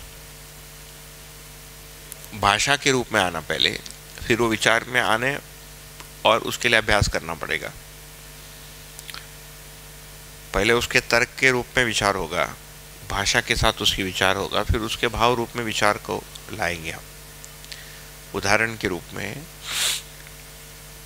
यदि हम बोलते हैं कि मित्र संबंधों में, जब तक मित्र संबंध है तो किसी भी आयु वर्ग में जो मित्रता है, उसमें सम्मान जो है, समान भाव के रूप में आएगा। ठीक? ये हमने सुन लिया, सोच लिया, मान लेते ऐसा एक लाइन नहीं है, दर्शन में मान लेते क्योंकि मित्र संबंध एक ही लिखा है। उसके फिर तीन कैटेगरी नहीं बने कि दो लोग हैं, ए, बी से आठ साल बड़ा है तो क्या सम्मान होगा, बी, ए से आठ साल बड़ा है तो क्या होगा दोनों का एजुकेशन एक साथ तो, तो होगा। अलग अलग एजुकेशन अलग अलग नहीं बनाए छोटे छोटे टुकड़े नहीं बनाए उसकी एक ब्लॉक है वो ठीक? हमने सुन लिया। तो ये हो गया भाषा। उसकी कोई तर्क भी हमने सुन ली कि मित्र संबंध का मतलब प्रगति के अर्थ में है है ना? और बहन संबंध का मतलब मतलब भाई संबंध मित्र संबंध बहन का मतलब उन्नति। ये हमने सुन लिया हमको ठीक लगता है। फिर हमने उसको थोड़ा सा सोचा भी है कैसे होगा, नहीं होगा? फिर कुछ लंबा मनन किया हमने उस संबंध पे। अब उस पर जो हम सोच रहे हैं, उसमें तो विचार लगता ही है। बिना विचार का तो होगा नहीं, ठीक? अब जब सामने एक आदमी आता है, जिसको हम मित्र के रूप में पहचानते हैं, फिर हमने जो सोचा है, सुना है, उसके आधार पर व्यवहार करेंगे कि पहले से जो हो रहा है, उसके आधार पर करेंगे। या कोई रैंडम कोई भी चीज़ होगी। अभी क्या अभ्यास है? जगह के अनुसार अलग अलग है। जैसे मैं जहाँ बड़ा हुआ पुणे सिटी में कोई अंग्रेज़ी स्कूल थी है ना? पादरी थे हमारे प्रिंसिपल सब। फादर बोलते थे हम। मुझे ये पता था कि ये फादर अलग है घर में जो पिताजी है वो अलग है। उसको भी फादर बोलते हैं। तो वहाँ पर मित्रों में आ, नाम से ही हम पुकारते हैं। किसी का नाम राहुल है, राहुल, चलो वहाँ जाएँगे लेट्स गो देयर राहुल भैया चलिए हम वहाँ जाएँगे, ये भाषा है ही नहीं इंग्लिश में। राहुल ब्रदर है ना? फिर आपके लिए कोई शब्द ही नहीं यू ही है। तो उसके लिए प्लीज़ बोलना पड़ता है। विल यू प्लीज़ क्या आप कृपया accompany me to the store वो तो बेहोश हो जाएगा, मैं इतना बोलते बोलते कि इसका सनक गया है कैसा बात करता है ये, ठीक? तो इन दो जगहों के लोगों के बीच में भी व्यवहार को देखेंगे। दोनों ने मध्य दर्शन पढ़ा है, दोनों ने मित्र संबंध को पढ़ा, मानव दर्शन को मान लो, पाँच बार पढ़ा है। श्रवण होने के लिए दो चार बार तो पढ़ना पड़ेगा दर्शन को। उसके पहले आपको हो गया तो बहुत बढ़िया। मिनिमम जो जो चार पाँच तक तो आप रखिएगा। एक सेफ्टी मार्जिन। उससे पेट नहीं भरता तो दस ग्यारह बार पढ़ लीजिए। तो अभी वो जो व्यवहार करने हम जाएँगे तो अभी जो हमारी अभ्यास है समाज में, या हमारा जो पूर्व अभ्यास है, जगह के अनुसार, किन्हीं जगहों में छोटे आदमी को दबाते हैं, काम पकड़ाएँगे। बोलेगा मित्र बड़ा वाला, छोटे वाले को काम देगा। है ना? या अपेक्षा करेगा कि उसकी छोटे कुछ काम कर दे। जैसे मैं आपको बोलूँगा? क्या नाम है? हर्ष बोलो। है? अशरफ अशरफ भैया। अशरफ भैया? थोड़ा वो कीबोर्ड दे दो ना। कौन किसको कीबोर्ड देने बोलेगा? ये आयु से डिसाइडेड है। बोला भैया। इसका मतलब अशरफ के पास भी अधिकार होना चाहिए कि श्रीराम भैया, अभी आप कीबोर्ड वापस दो। ठीक? तो इसके डिटेल में जाना। समझ रहे तो वो जो विचार है मित्र संबंध का वो यदि मेरा विचार बन गया तो मेरा विचार बन गया कि मतलब मेरा भाव बन गया तो असमानता का भाव उसमें रहेगा। फिर उसमें आयु के अनुसार कुछ शिष्टताएँ रहेंगी कुछ अलाउंस रहेगा कि ठीक है अब ये जैसे आशा आप, आप पिताजी का क्या एज है? फोर्टी टू मैं इसके पिताजी से बड़ा हूँ। मैं फोर्टी फाइव हूँ। ठीक है ना? तो मैं तो ताऊजी हो गया तुम्हारे लिए। तो मैं, भैया तो बोलूँगा ही नहीं, तुम ही बोलना पड़ेगा अभी। राइट ताऊजी बोलोगे ना? कि राम भैया बोलोगे? ताऊजी बोलोगे? ठीक है? श्री राम ताऊजी बनेगा। अब ये सब चीज़ें इसकी डिटेल में आएँगी। तो विचार के रूप में, जो विचार बनेगी, वही भाव के रूप में व्यक्त होगा। तो मनन में ये जो शब्द है और तर्क है ये अभ्यास में होके विचार में परिवर्तित होना। ये करते समय कहीं पर फिर साक्षात्कार है, फिर वो साक्षात्कार पूर्वक पुनस्थिर होगा, फिर पुनस्थिर होगा। ऐसे करते करते करते करते उसकी बारीकियाँ सेट होगी। वो मित्र संबंध भाषा और तर्क के रूप में है, बना हुआ है। उसका एक्सपेंशन होके उसके स्वरूप में हम होते जाएँगे। तब वो हम कहेंगे कि मेरा विचार बना, तब तक तो उसकी कन्वर्जन ही हो रही है। ये इनके साथ हुआ, ये नए हैं, वो पुराने हैं, उनके साथ अलग हो जाएगा। ये अलग है, उनके साथ अलग हो जाएगा, ऐसा है।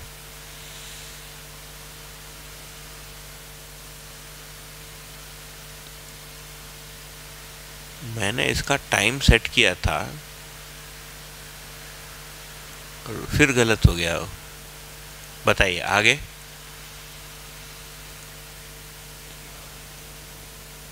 हाँ। नहीं नहीं टाइम नहीं बताने बोला। वो, इसमें इसमें और आगे टाइम तो मैं देख रहा हूँ।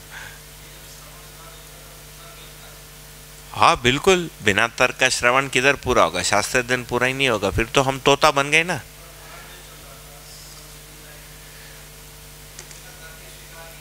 बचपन में वही होगा, चीज़ों हम, चीज़ों चीज़ों को हम सुन के मान लेंगे। हाँ वास्तविकता को समझना है तो अंतर संबंध के साथ ही वास्तविकता समझ में आएगी ना। वो तो स्कूल मैंने पांचवी, छठी में आके आके तर्क शब्द के साथ लगी जाता है बच्चे का। उसके पहले ही उसका तर्क विकसित हो जाता है।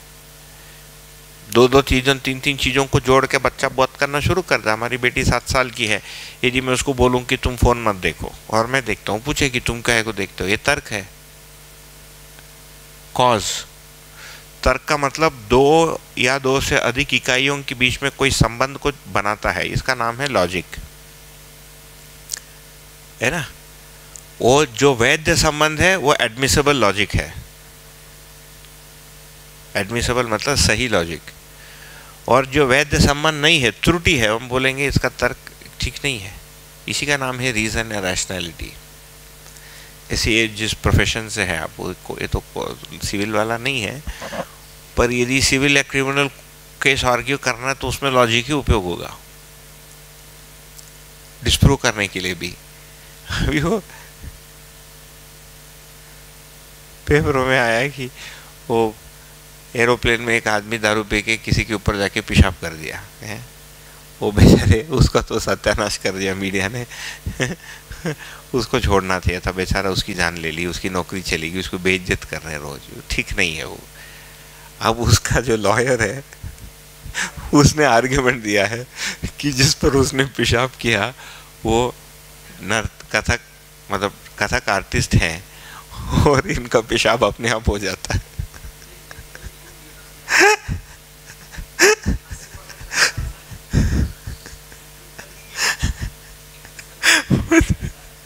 ये तर्क है अब लॉजिकली ठीक है, सबको पता है सच्चाई क्या है। जज को भी पता है, दोनों लॉयर को पता है, सबको पता है।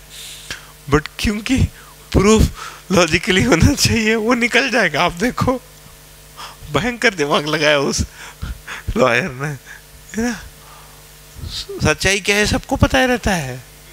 तो ये क्या समझ में आता है? सच्चाई तर्क से ऊपर है। तर्क सच्चाई तक पहुँचने का माध्यम है।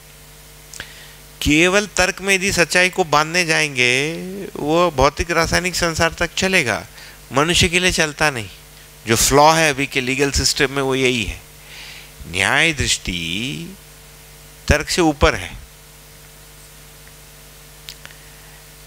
लेकिन न्याय क्या है उसको समझने के लिए तर्क को हम प्रयोग करते हैं।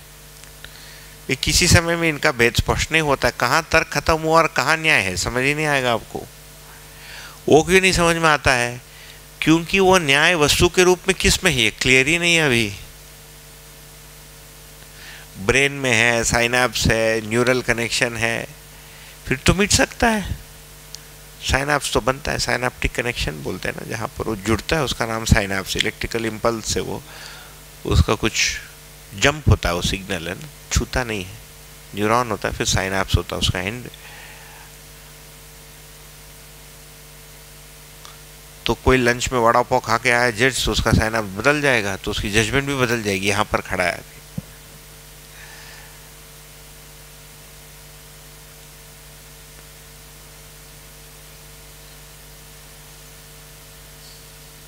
ठीक है ये? तो भाषाभास, ये सब भाषाभास में होता है। ये हो गया तर्क या आभास। तर्क जुड़ रहा है का मतलब आभास?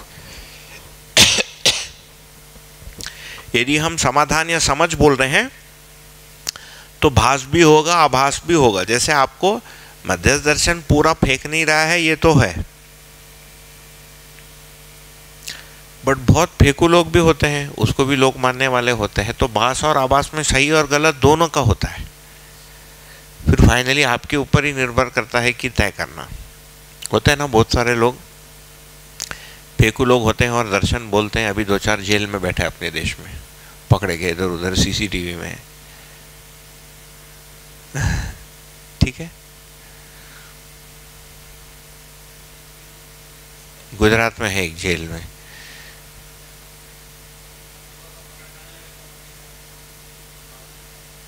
हाँ तो ये सच्चाई है, हमारे जीवन में यदि चमकता है, भास हुआ भास हुआ और आभास पूरा हुआ का मतलब उसको सर्वांगीण विधि से आपने जांचा और हर जगह आप सही पाते हैं। ऐसा भी हो सकता है, कई बार एक ही स्ट्रोक में वह खटक गया तो हो गया। क्लीन बोल्ड एक होता है यॉर्कर है ना क्रिकेट में। पता ही नहीं चलता, ऐसा घुसता है और मिडिल स्टम्प को उड़ा देता है इन स्विंग और दूसरा होता है रनआउट दोनों विधि से आउट ही है, पर रनआउट में टाइम लगता है। बॉल आया, आपने मारा, आप दौड़े, वो फेंका, फिर आप पहुँचने पाए रनआउट हो गया। ये तर्क विधि से कन्विंस हो या सीधा यॉर्कर मिट के क्लीन बोल्ड हो जाए, वो सबका अलग अलग है। किसी समय में यदि क्लीन बोल्ड हो गया जीवन तो उसको आगे वो शास्त्र अध्ययन में जाएगा। किसी का परिचय शिविर में होगा, किसी का अध्ययन बिंदु में आएगा, किसी का छः महीने के शिविर के बाद होगा, किसी का उसके पाँच वर्ष बाद होगा, कभी तो होगा। ठीक है?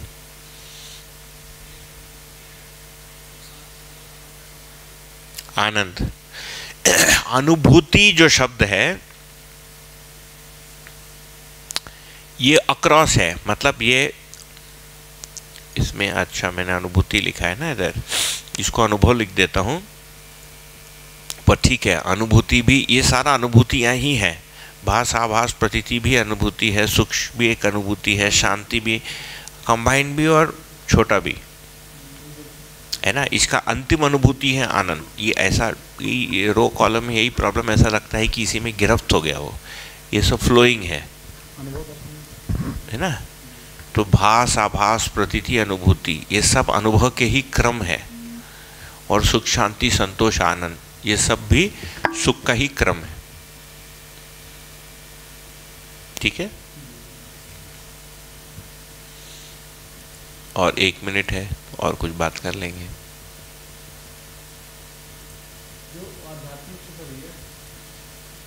जी तो कहीं ना कहीं नहीं आध्यात्मिक सुख की आवश्यक बौद्धिक सुख जो है ये चित्त के चित्रण चिंतन तक और अवधारणा तक रहता है बौद्धिक सुख। आध्यात्मिक सुख जो है पूर्ण बोध के साथ होता है। जो सी में लिखा है मैंने।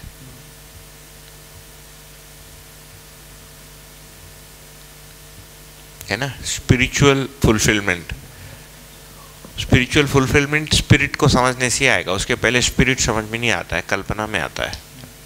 स्पिरिचुअल शब्द स्पिरिट से बना है। अब अंग्रेज़ लोग दारू पीने को भी स्पिरिट बोलते हैं। एक्चुअली स्पिरिट जो है, किसी चीज़ का सार है।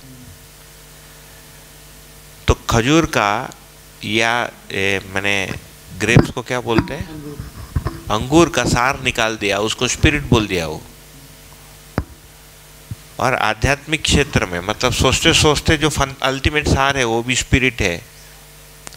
तो दारू पीने वाला भी स्पिरिट के साथ है, और समाधि आदमी भी स्पिरिट में के साथ ऐसा हो गया इंग्लिश भाषा। तो बाबा जी उसको अंग्रेज़ी नहीं बोलते थे, उसको रंगरेजी बोलते थे, क्योंकि अलग अलग रंग में। रंगरेजी।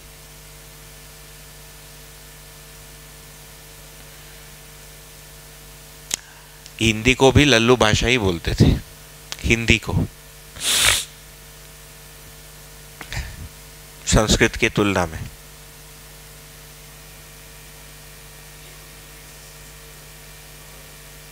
हाँ। मिक्स क्या हिंदी भी अधिकांश संस्कृत है। अभी बोलचाल की हिंदी में फारसी जुड़ गया, उसका नाम है उर्दू। हिंदी और फारसी जुड़ के उर्दू बना। अब उर्दू और हिंदी मिलके हम हिंदी बोलते हैं। और फिर बोलियाँ बहुत सारी हैं, मैथिली अवधि फलाना, अभी कोई है नहीं ऐसे बोली के। ये छत्तीसगढ़ी का बोली, वो भी हिंदी का ही ऑफशूट है। छत्तीसगढ़ी की अपनी लिपि नहीं है।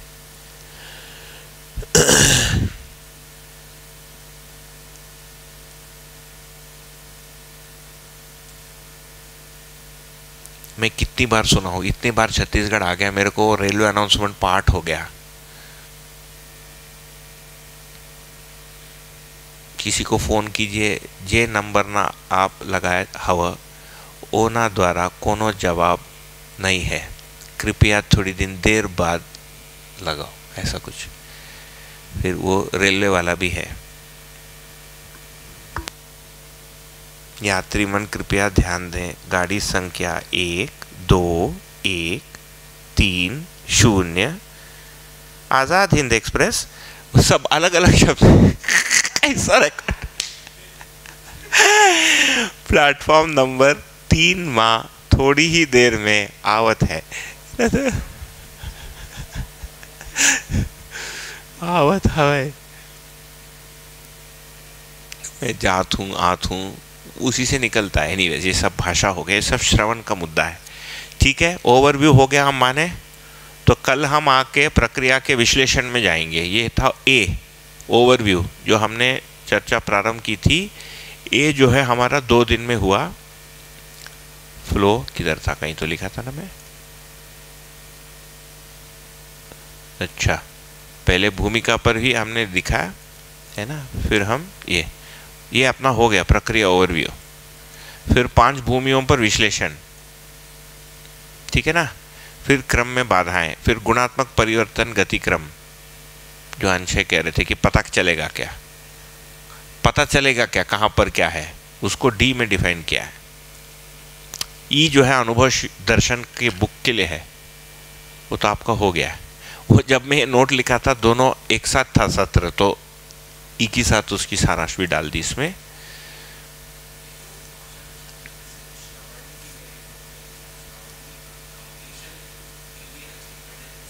या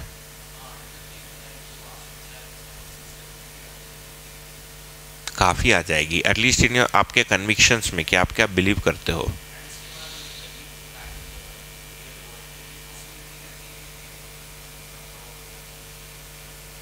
नहीं, वो श्रवण वाइप आउट नहीं होगा।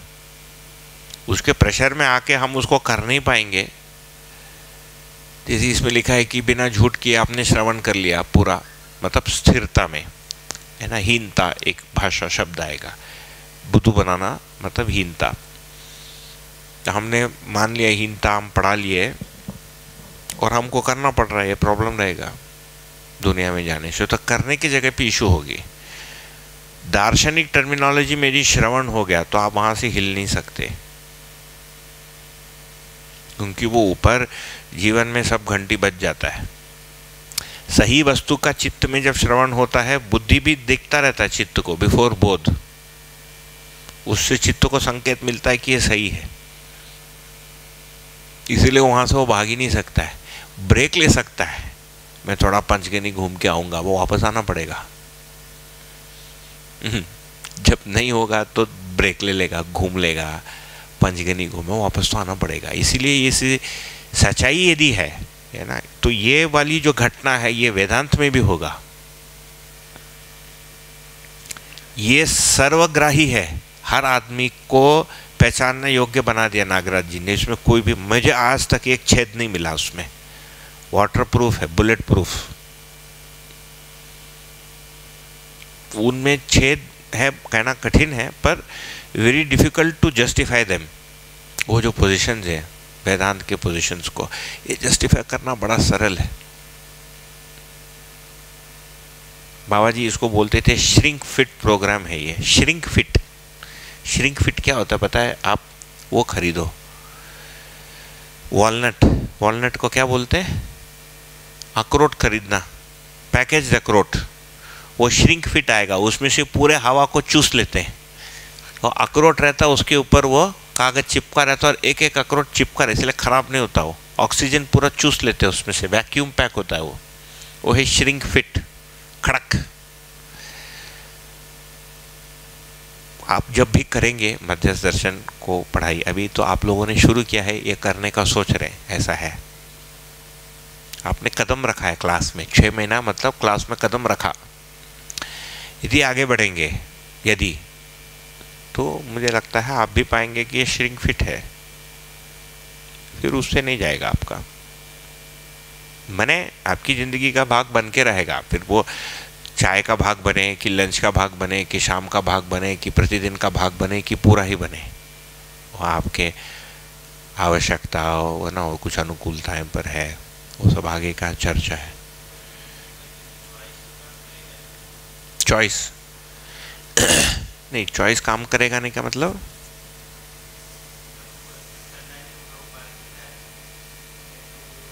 वही, वो बाध्यता बननी चाहिए, फिर वो बाध्यता भी सूक्ष्म प्रेरित तो तीव्र इच्छा, फिर तीव्र इच्छा grade one grade two grade three ऐसा बनेगा।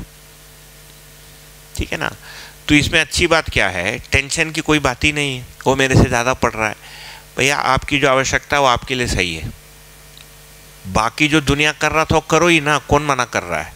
पकौड़ी खाओ। जनरली इसमें जो आदमी आता है, चोर नहीं आता है इसमें। आप चुरा के खा रहे थे, यदि कर भी रहे थे तो रोकना पड़ेगा और रोक जाते हैं।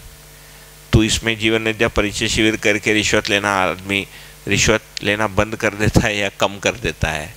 है ना? मैं पूना में एक परिचय शिविर लिया था, वो घंटियाँ पहले ही बच जाती है। पूना में एक परिचय शिविर लिया था, उसमें तेईस साल का एक लड़का था, जो अंदर बैठता नहीं था। ये हो गया 2009 की बात होगी। मुझे परिचय शिविर लिया, आठ दस वर्ष हो गए शायद।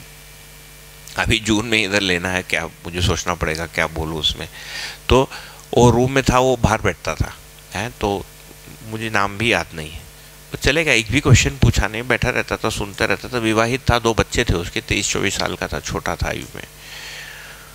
छः महीने बाद जिन्होंने उनको भेजा, उनका फ़ोन आया कि तुमको याद है वो आदमी? मैं बोला हाँ वो बाहर बैठता था।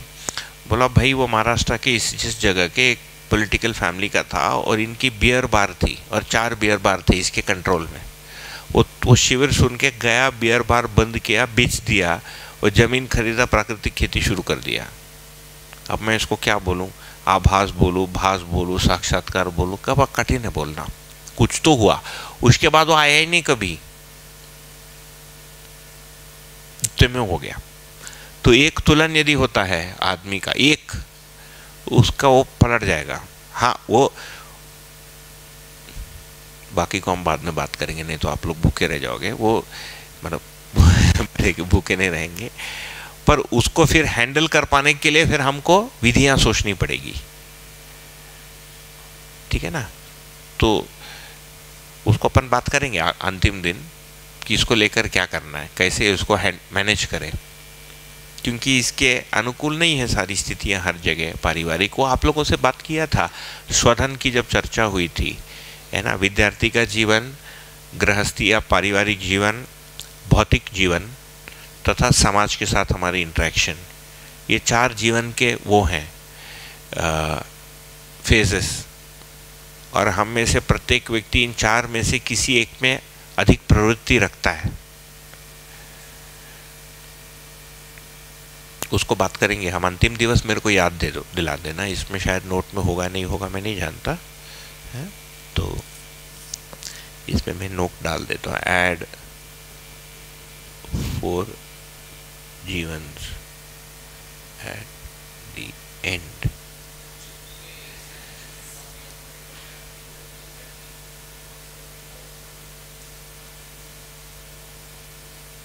नहीं, ये करना है, ये क्लियर होगा। वे फॉरवर्ड तो has to be discovered and उसमें क्या होता है, किसी भी दर्शन में उसकी जो बॉडी ऑफ़ प्रैक्टिस होती है, वो धीरे धीरे डेवलप होती है। जो अनुसंधान करता है, वो तो दूसरी विधि से किए रहते हैं। और वो स्टेप डाउन ट्रांसफॉर्मर जैसा है। वो चार लाख वोल्ट को 440 करके 220 डाल के 110 वोल्ट में आके छोड़ देते हैं। तो श्रवण है, ये अलग अलग 120 को मिला के 200 तक ले जाना 200 को 400 को ले जाना, ये जो मेथड है, अलग होती है। इस पर जो लोग पहले से चले हैं, जैसे मैं अभी जो प्रस्तुत कर रहा हूँ, ये एक प्रकार से स्टूडेंट्स बॉडी ऑफ़ नॉलेज है। आपके पहले इस पर जो लोग चले हैं, वो उसको संग्रहित करके दे रहा है। तो उस दिशा में सोचने के लिए आपको आसान हो जाएगा। ये जो अभी आपको दो दिन में बताया इसको बाबा जी से समझने के लिए हम 500, 600, 700 घंटा बात किए। इसके बाद क्या होता उसको वो एक बोलते तो दूसरा आता है दूसरा नहीं होता तो फिट ही नहीं होता वो। It takes lot of time तो फिर आप लोगों के लिए वो समय बच गया। सीधा का सीधा पाँच छः साल बच गया। इसके क्लैरिटी में ऐसा नहीं है कि सीधा आपको वो बाकी तो आपको उसके थ्रू हो जाएगा तो इस पर चलने का पाथ क्या है? ये तो उसकी थियोरी है है ना? और उसकी जो प्रैक्टिकल पाथ है, वो भी शोध पत्र के रूप में आपको चर्चा करना पड़ेगा, चाहे इस क्रम में करें या है ना, आगे करें। बताया ना आपको, हम जो मॉर्निंग बात कर रहे हैं, हम तीन चार लोग हैं जो पंद्रह साल से इसमें हैं। और अलग अलग जगहों पर क्या क्या डिफ़िकल्टीज आई हैं, उसी डॉक्यूमेंट पर हम बात कर रहे हैं। कुछ शोध तैयार किया था मैंने और हमारे मित्रों के सम्मुख रख रहा हूँ। सवेरे वही किया आज छः से सवा सात। मतलब आगे की स्टेजेस में मैंने अलग अलग डिफ़िकल्टीज़ को कॉम्प्रिहेंसिव रूप में कर सकते हैं कि नहीं। तो धीरे धीरे बनेगा। इंक्रीमेंटल क्लैरिटी बनती जाएगी वो कॉम्प्रिहेंसिव रूप मतलब सर्वग्राही रूप में उसको तैयार कर रहे हैं आ, मिलेगा वो कम से कम उसके रूप में।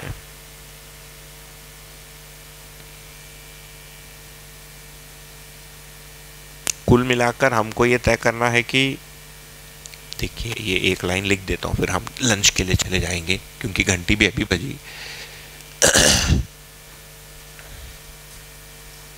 अच्छा वो चार जीवन उसके पीछे है। एक मिनट रहने दो। ये ये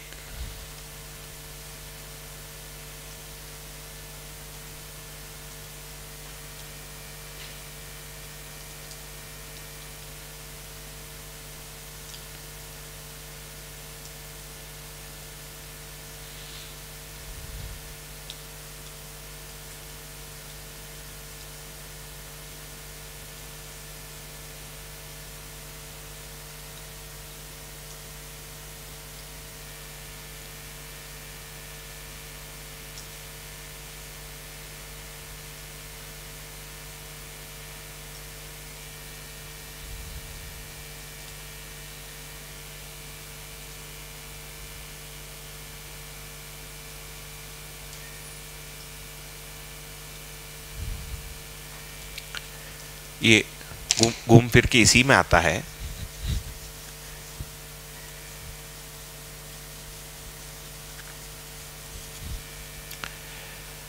हर मानव, है ना, ये हमने कहा ये विद्यार्थी का जीवन है। अच्छा। ये जो है, गृहस्थ का जीवन है। परिवार में, विवाह के पहले भी आप किसी के गृहस्थ के एक पार्ट हो। उसकी कुछ जिम्मेदारियाँ। जब आपकी गृहस्थी बनती है, आजकल के दुनिया में वो आपको अलग से बनाना पड़ता है। ये अभी नया फिनोमिन है, इस देश काल का। शादी होने के बाद अपना घर बना के अपना जगह बनाएगा। पहले सब एक ही जगह रहते थे। बेडरूम का कंसेप्ट ही नहीं था ना। हमारे गाँव के घर में बेडरूम ही नहीं है। दो तीन कमरे उसमें अनाज रखा रहता है।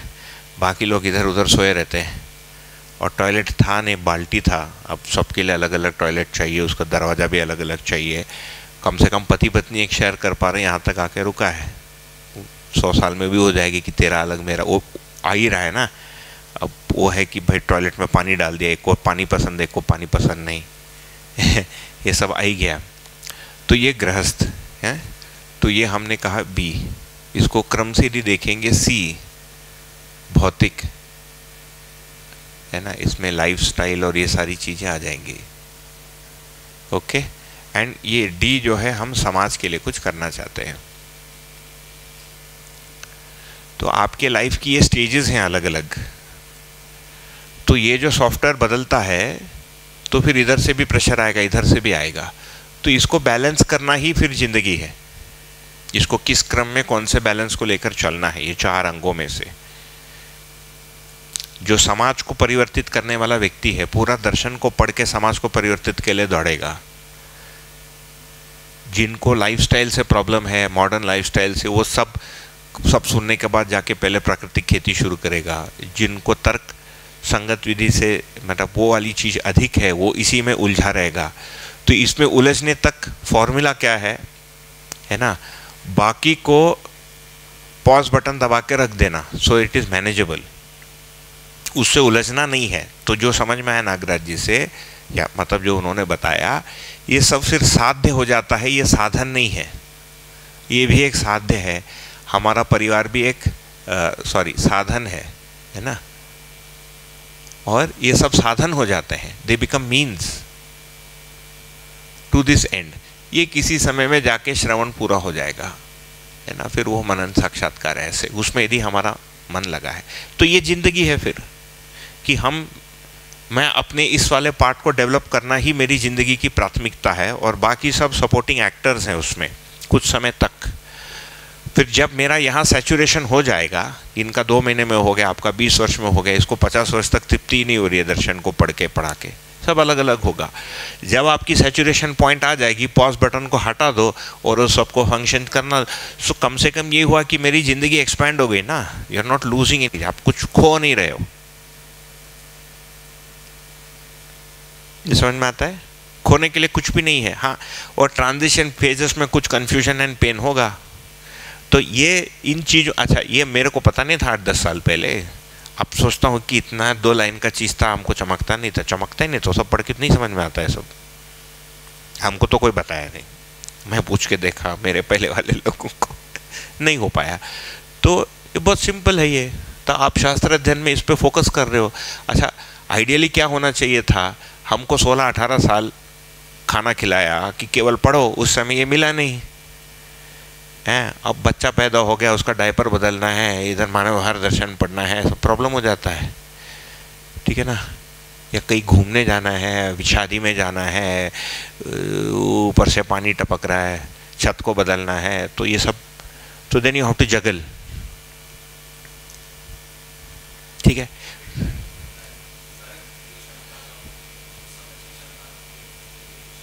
बितेज